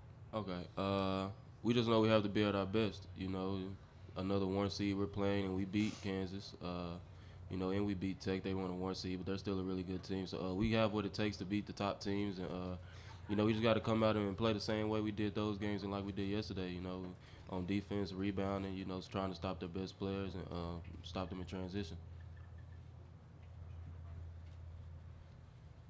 Uh, Brian Eskridge, TCU Sports Network. Mike, I'm going to stay with you. You know a couple of these guys from the uh, U19 event uh, this summer. Do you know their game? Does it help at all? Do you you understand where they're coming from after seeing them play? Uh, I remember Bennedict a little more than I remember the uh, the guy from Mali, uh, Maui, wherever it's, I can't really say the name, but um, I remember Bennedict. You know, he was good. He was on the Canada team. It was a close game. It was a good game. So uh, I definitely know what he's capable of. Uh, obviously, he's projected to go a lottery pick, so we all know what he's capable of. He's a good player, so uh, we're gonna have to crack down on him and uh, try to uh, stop him. Did, did Jeff Wilson with uh, Frogs today? Did you, did any of you guys watch the Baylor Carolina game? Yeah, I did. Yep. Sure. So so you saw a one seed fall. Yeah. Would, would, did that go through your mind like we can do that too? And and if so, what do you got to do? And who's that for? Uh, Micah. Um, yes, I did watch that game, and I was just I Mike's my roommate, so I was just telling him like we can do this. Uh, like we've said before, we just have to lock in on the defensive end. Honestly, um, yeah, that's really what our focus is defense, because you know our, our score is gonna uh, our the ball's gonna go in on the offensive end, so we just gotta lock in on defense because they're a really good team. So. Mike, uh, sti sticking with you. Name and affiliation, Sorry, please. Drew Davison, Fort Worth Star Telegram. What have you seen from Bennedict? And obviously, I'm sure you're going to uh, be guarding him a lot. Uh, just kind of what would what's the key for you to slow him down? Um, uh, he likes to come off a lot of um screens for his uh, shots, and he likes to get out in transition because he's a really athletic player. So it's going to be tough. But you just have to, I say, play like we played uh, Ochai from Kansas. Um, they're lots, uh, uh, they're like similar players. So just guard him how we guarded him. Uh, Colin Post, TCU 360. For Mike, uh, you only took two threes last night. That's only the second time all year you've taken that few. Is that just about what the defense gives you, or are you kind of making a concerted effort to get yourself bigger buckets at the rim? Uh, I feel like everyone knows I like to drive to the rim more than I like to shoot threes, and um, I knew I could get past their center. You know, he wasn't. I was obviously quicker than him, so I could get around him and get to the rim, and that's when I'm best when I get downhill and attack the rim. So, uh, you know, I could have taken more threes, you know, because they were open, but I really wanted to get to the rim and finish. Uh, Joseph Hoyt, Dallas Morning News. Eddie, uh, Coach Dixon said last night that you guys really hit your defensive potential. I guess you know what was the reason for you guys getting to that defensive potential, and how do you repeat that? Uh, for me, it just I bring the energy on the team, and then uh, they we always just locked in from shoot around, from travel, from when they called our name on Sunday. Everybody in the team was just locked in, and then Coach Dixon been preaching us to load up, and that's what we did yesterday. We was loading up, and coming into the next game, they playing two bigs. I think that's gonna be the first game that we playing a team that plays two bigs. We just gonna have to load up and do the same thing we did last night. Uh, Bruce Pascoe, Arizona Daily Star. Mike, I think you played against Dalen Terry in that U19 camp uh, here for USA, and I was just curious if you remember him. What, what do you think of him? And he, because he, as it's turned out, he's played a little bit of point guard for them as well right now. Uh, yeah, he was at the training camp. Uh, I know da- I've known Dalen a long time. You know, we went to uh, camps in high school together, so I've known him for a long time. He's a good player. He's athletic. He's long. Uh, he can run in transition. You know, he's good in transition. Their whole team is good in transition. So uh, I definitely know he's a good player. You know, uh, I know what to expect from him, and I'm probably gonna. I don't know if I'll be starting the game out of him, but if I am, I'll try my best. But you know, I've known him for a long time, so I know he's good. Brian Estridge, TCU Sports Network. Uh, Fran, this one's for you. There's a lot of international players in this tournament who've had success. Arizona's got a lot of international players on their roster. Do you find yourself watching them and, and watching their success? Do you, do you look at that? Uh, yeah, uh, that's that's a great question. Uh, I know what international people brings to, to college basketball, uh, and and I think it's great. They they of course have two great players, and yeah, I, I admire them the way uh, they bring international people in here. So the, the most we are, the more more people are gonna come from the outside.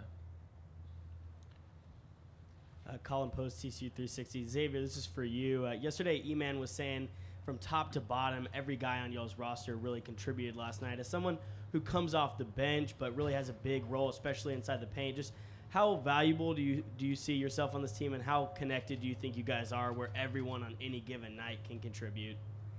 Uh, I also feel like that's one of the strengths that we have. We have uh, so many players that can come in and make uh, immediate impact uh, on any night, uh, me included. I feel like my athleticism really adds to our roster. The ability to like change it up and switch out the one through five uh, really adds to our defense. I feel like it makes us uh, a lot better, makes us harder to score on. So I think that really adds to us.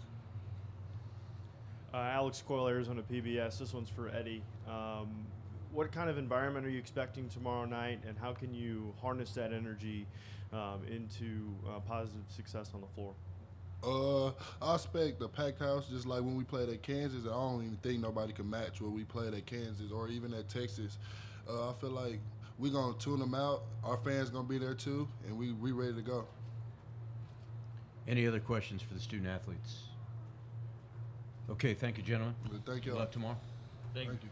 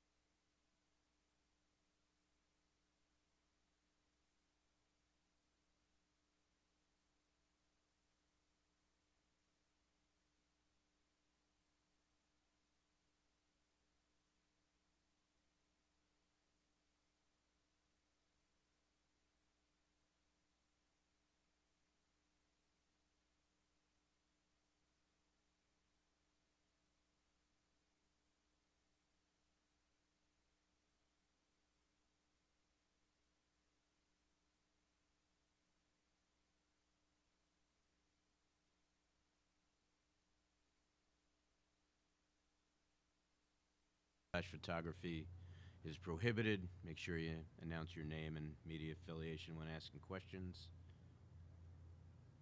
We'll get started in a minute.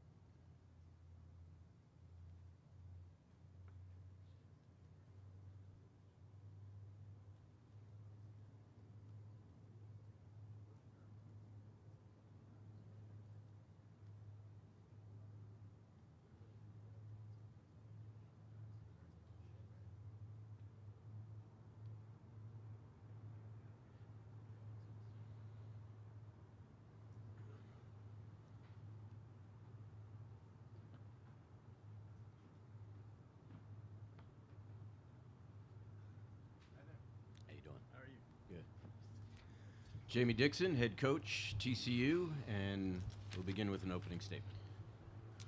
Uh, obviously, uh, been working on uh, Arizona. Um, got back uh, last night late. Uh, jumped right on it. Obviously, um, we had it spread out as to who what had, had what opponent, and um, so uh, excited about the opportunity. Obviously, know how good they are. Um, a really skilled basketball team, well coached.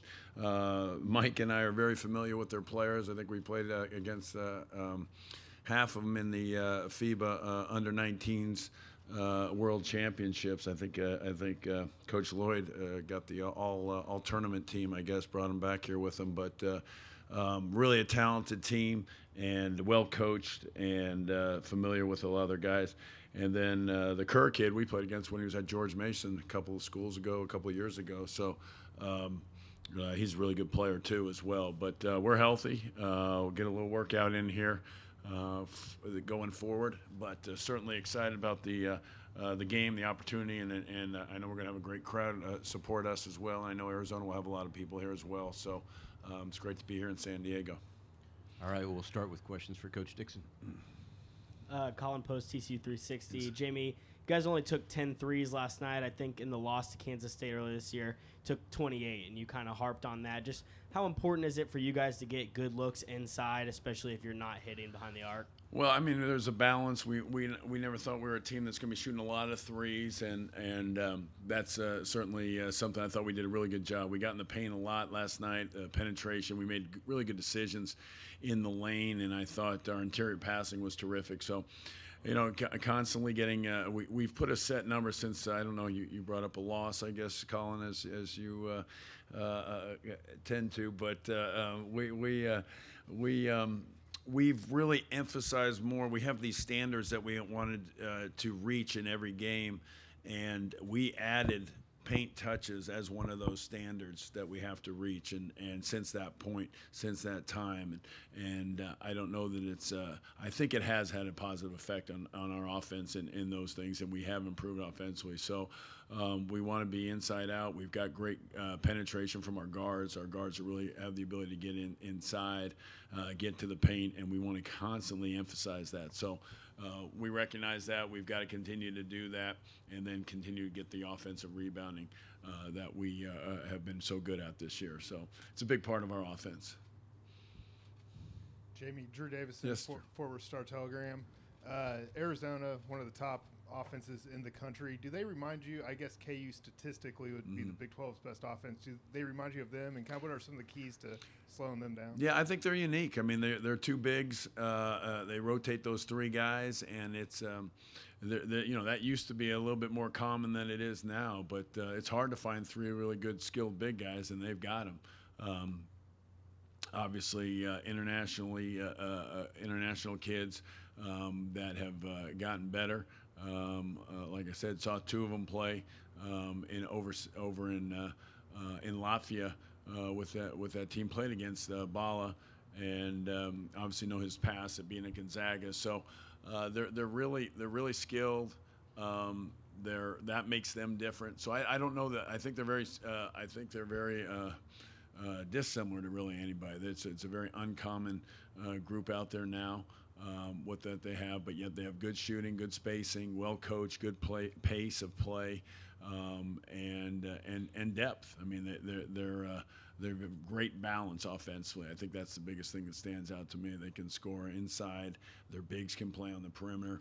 They have good perimeter shooting, uh, but yet they can uh, get to the basket too from the, their their perimeter, their athleticism. So. Uh, it's obviously their numbers speak for themselves, and, and their balance, I think, is make, what makes them so good offensively. Certainly a, a challenge for us defensively. We've gone against some very good offensive teams, but this team is, uh, uh, uh, as I said, a little bit different. But um, I, I know our guys are looking forward to the challenge.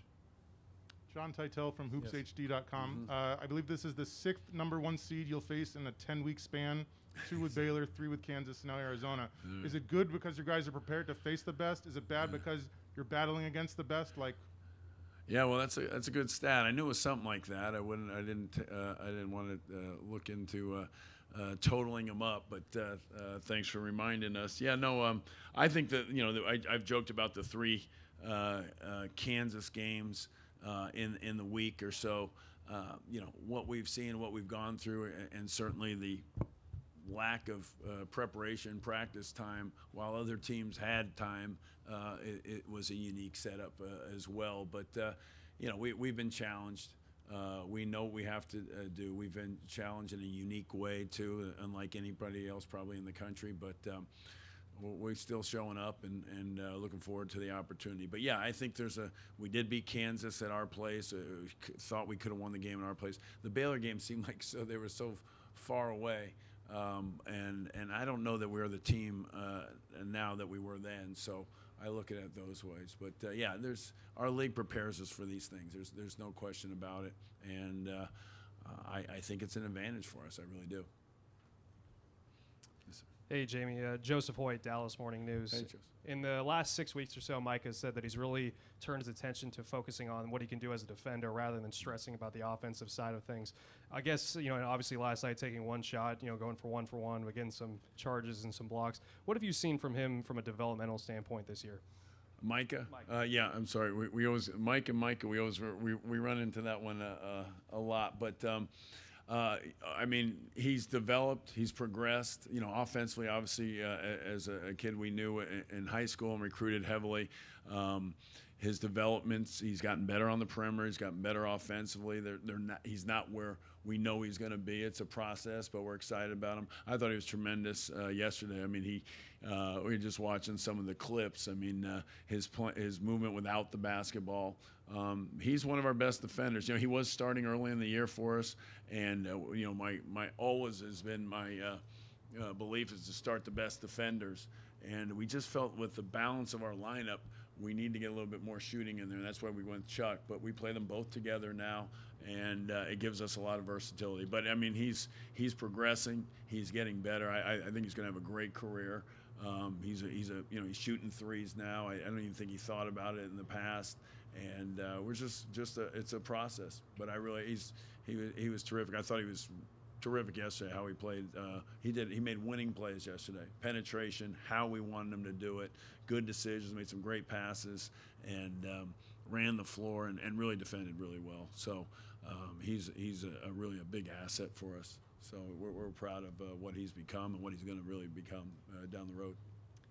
Uh, Dana O'Neil at the Athletic. Jamie, when you were at Pitt, you, you predicated your team on blue collar, nasty defense, really being kind of tough and blue, you know hard Mhm. hard to play. How close is this team to kind of reaching that standard that you want to achieve? Yeah, it's kind of getting there. I mean, this is you know, I mean, those, and but those were guys that were there three, four, five years. Um, it, it was a process. This has been unique. I mean, it's a different game, and we've adjusted. Uh, June first, we started practicing. We started working on our defensive philosophy, fundamentals, rules, all those things. So. Um, so we're a work in progress. I, I, we're getting there, but yeah, there, there's uh, we had to get an element of phys- physicality that I think we're lacking. Um, you know, and that only came from practicing, getting after it, which is something we couldn't do the, the last couple of years to some degree. Um, certainly more us more so than others, but. Um, yeah, I mean, our league is. I mean, I, I, I think you're referring to what is it the pit thing? Our league has made it that way too. Our league. I don't know if it's. Uh, I've because our league's almost become the Big East and what we're doing defensively and really what we're doing as far as ranking as a conference. Uh, it's become that. So you know, my joke, uh, oh, I've used it. Drew is tired of it, but you know, my goal is in my career is to coach in the toughest league in the country every year of my career, and uh, I, I've pretty much done that. Um, so.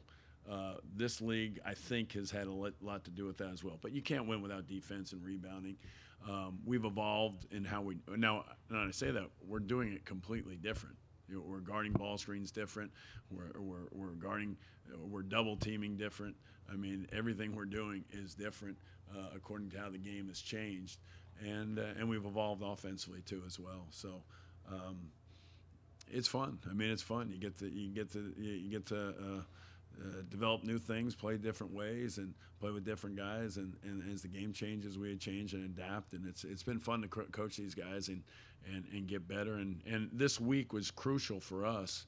You know, like I said, we didn't have any practices for about a month, and we had four practices this week, and that was. Uh, uh, that was a whole new experience for us. So we were able to adjust, do some things, uh, change some things around, and add some things. So that was that was a really a great four days for us. Uh, Jeff Wilson with Frogs Today. Uh, were, were you able to watch any of the Baylor North Carolina game today? I- and, th- and then, what do you think about it? And can you say to your team, "Hey, number one teams can lose"?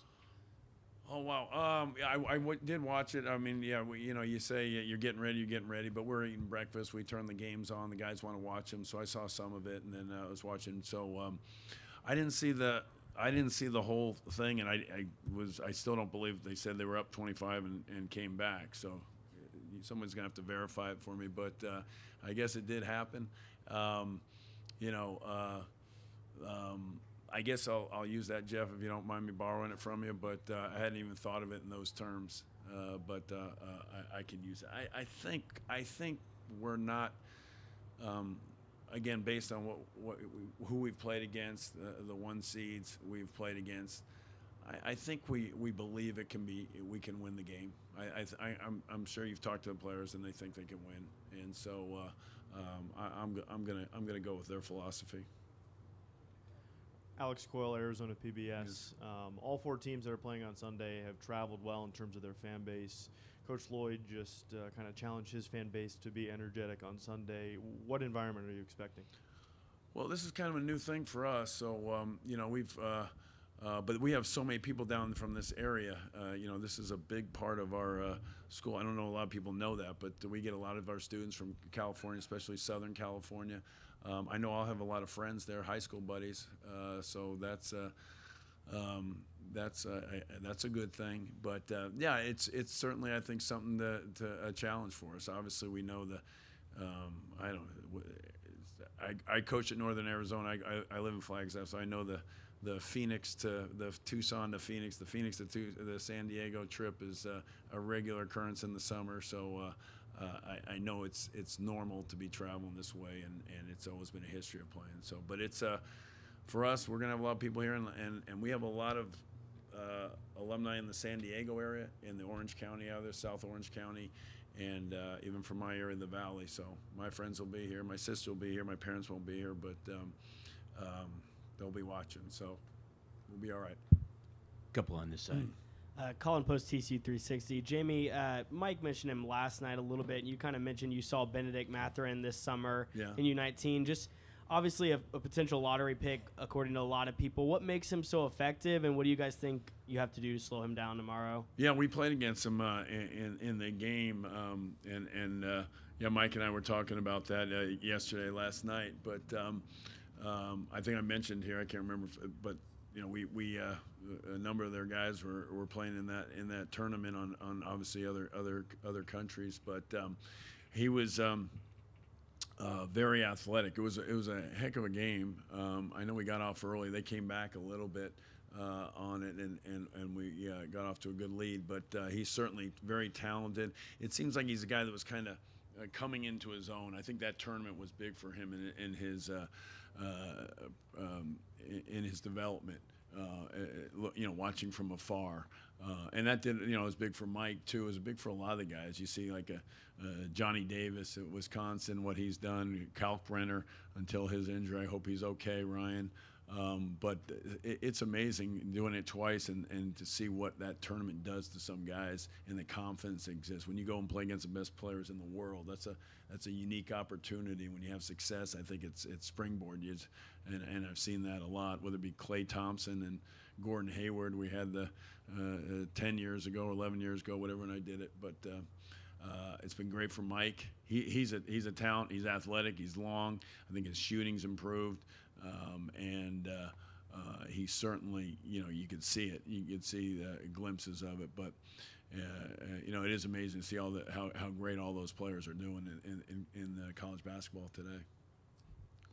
Drew Davison, Fort Worth Star Telegram. Kind of going off that, Jamie, you guys built a winning roster, won the gold medal, but Dalen Terry tried out, uh, didn't make it. How tough was that? Just cutting that roster to 17. Yeah, well, um, we, we did it. Uh, I guess 12, but again, it's um, the coaches don't make that decision. They, they have a, a committee that does that. So, um, you know, I mean, uh, I think you know we I think we've played against a bunch of guys this year uh, uh, in that situation, but um, he um, uh, talented, athletic.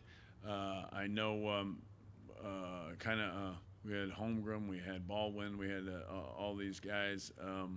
But uh, again, it's a it's a it's a challenge.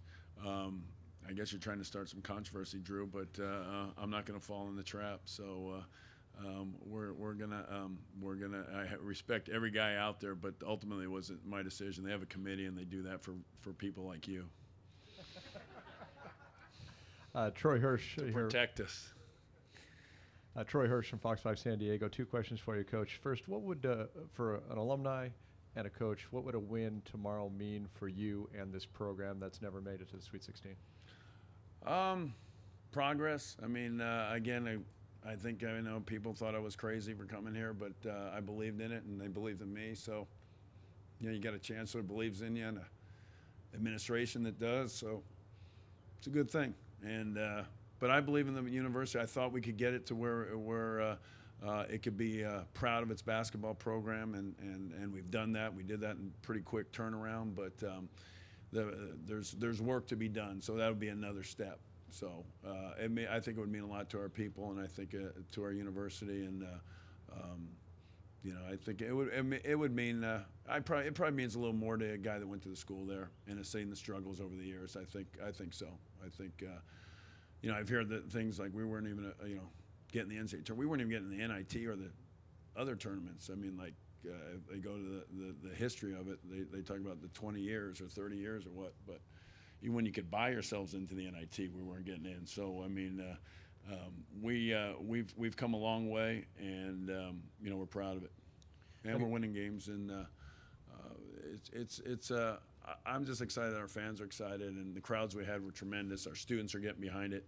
You know, we have a, a alumni that really didn't go to basketball games. Um, you know, all those years. Arizona, it's just you know, it's ingrained. It's been that way for you know since Coach Olson, and uh, for us, it's a new thing. And um, you know, that's that's uh, that's what's fun to see the students going to, to the games and and uh, uh, making it a part of their experience. Gonna take two more questions. And speaking of alumni, uh, Coach, uh, certain running back had a pretty good career here in Mhm. San Diego. Wonder, has he reached out to you at all? Uh, Oh yeah, he was it? at our last. Uh, wasn't Brian? Was he at the? I didn't even know he was there, and and, and the players all knew he was. We had a. Um, uh, we I was on the board today. Uh, uh, he was he was at the game, but LT um, uh, spoke to uh, our group. He didn't. He hadn't spoke to the. You know, COVID kind of is kind of bringing people in to speak and stuff. It hasn't been quite the same, but um, I told him the story this year, and that's why they use the saying. uh, He uh, uh, uh, he spoke to a group a couple years back uh, to our team, and he talked about being at TCU, always having a chip on your shoulder. and It never leaves you, and that's what he had coming from University High in Waco when he went to TCU, and then he continued to have when he's at the uh, when he was with the Chargers, and um, so. And I say even now he wants to be the best, you know, TV guy he possibly can. So, um, you know, that, that chip uh, on our shoulder never leaves us. And, and the players, I guess, have told the media the phrase. And they, they uh, I said, you guys know who he is, right? And they, and, and they said, uh, yeah, no, we saw him walk in the game the other day. So they, they, they know who he is. And uh, you forget how young they are. But yeah, he, uh, yeah, San Diego uh, LT is a, is a is a is a special connection between the two. So a lot of connections for us. Brian Espers, TCU Sports Network. Coach, early in the season, you, you hinted that you had the ability to play two big men on the floor at the same time. You talked about the potential of that if you needed to. Mhm. Will this game warrant that maybe for the first time? Yeah, I you know I, I don't know um, I, I don't know uh, we haven't done it much and we've practiced it a lot I should say um, but I just don't see how we take a, uh, Emanuel Micah um, JaKobe off the floor I, I mean J- Emanuel's probably our our best rebounder uh, um, uh, one of our best uh, JaKobe, I thought played really well yesterday, really good defensively, and he has a knack for rebounding. I just, uh, I think he's just uh, um, uh, getting better and better. Micah, we like having on the floor. So, I think our strengths and our quickness. And um, with that said, I think Xavier and uh, and and and uh, Eddie and and and Sule give us a, a great combination in there. But um, it's a possibility. We we practice it all all the time, more so out of necessity because we have enough guys. Uh, so Xavier does play together with Eddie some, uh, and and did it a lot this past week because we were able to practice some. So we have done it plenty in practice, but we haven't done it in game, to be quite honest. All right, two questions left. Sorry, uh, one there, and uh, then the front row. Melissa Hi, Triebwasser, Melissa. Frogs Today. Hi. Uh, you talk about rebounding, and it's obviously been such a huge part of wins and, and losses for TCU this season. But Arizona is statistically the best rebounding team that you've faced. Um, Mm-hmm. You know, whether it's using two bigs, whether it's getting more out of your guards, is there a strategy difference here, or is it just effort? Yeah, no, I mean it's it's um, you know I, we we've you can't emphasize it any more than we do start this week. I mean we it's it's uh, it's we start every day with it and we end every day with it. So um, rebounding is a, is a group thing. It's a it's a team thing. It's all five. Uh, one of our strengths I think is that we're getting the the rebounding. Our guards rebound at a high clip, and uh, but they're big across the board. There's no question about it. it it's a, it is. Uh, we've made it pretty clear we're, we're not winning unless we out, out rebound them. So um, I think that's uh, incentive enough, or uh, uh, is uh, pretty clear. They, they understand the value of Melissa, and, and um, it's good to see it too. By the way, you know, come to Texas anymore, but. Um, yeah, uh, I, I've heard about it. Somebody mentioned it once, but um, certainly, um, uh, I you know we, we got to win the battle. It's it's that simple. We had to win against Seton Hall, who was a very good rebounding team, and we won by 13. So we know we we've uh, we've we've seen it. We've got that. Uh, uh, we keep track every time out. They know exactly where we are on the rebounding totals, so we make it very clear to them that's not going to change. Justin Spears from the Arizona Daily Star. Coach, in 2009, you were rumored to be a candidate for the Arizona job. What do you remember just about that whole experience and what made the job interesting for you? Oh, that was a long time ago. I've been a rumor for a lot of jobs. I don't know. Uh, half of them I don't even know about, so that's uh, that's uh, in, in, intriguing. But um, you know, I, I grew up. Uh, um, the I, the only thing I know about I, I would coach in Northern Arizona for four years. Uh, unbelievable experience. Uh, coach Howland and I, and were there, and I was his assistant. And um, but really, the thing really with U of A is is um, is um, uh, Coach Olson. You know, uh, I came out of high school. I was a senior uh, when he got the job, and and uh, um, but then watching what he did and what he built and, and all those guys, and and then uh, seeing him um, what he became, and then I got to know him. Uh, through coaching at NAU, and he became a mentor really to me. He's, he's very, very special. My wife and um, and, and I became very close with him and and um, his family, and and uh, it just uh, it, it, just I think uh, anybody following him was going to be uh, uh, take. Uh, that's what I do remember. I remember anybody following the guy, that guy, what he did to that program is is it's going to be an immense challenge. But the resources are unbelievable, and but you know it's always a job that uh, or a school or a program that I've just watched from afar because I uh, Coach Olson was was to me the uh, did the most unbelievable work that's uh, uh, been done in college basketball. I think what he did at U of A and what he built, the following was just amazing. And uh, he, he's a mentor, and, and I, I cherished every moment with him. We used to do Nike trips and, and clinics, and I did a lot of different things with him. And he just he just meant a lot to me and my family and my wife. Thank you, Coach. All right. Thank you. Good luck tomorrow. See you all tomorrow.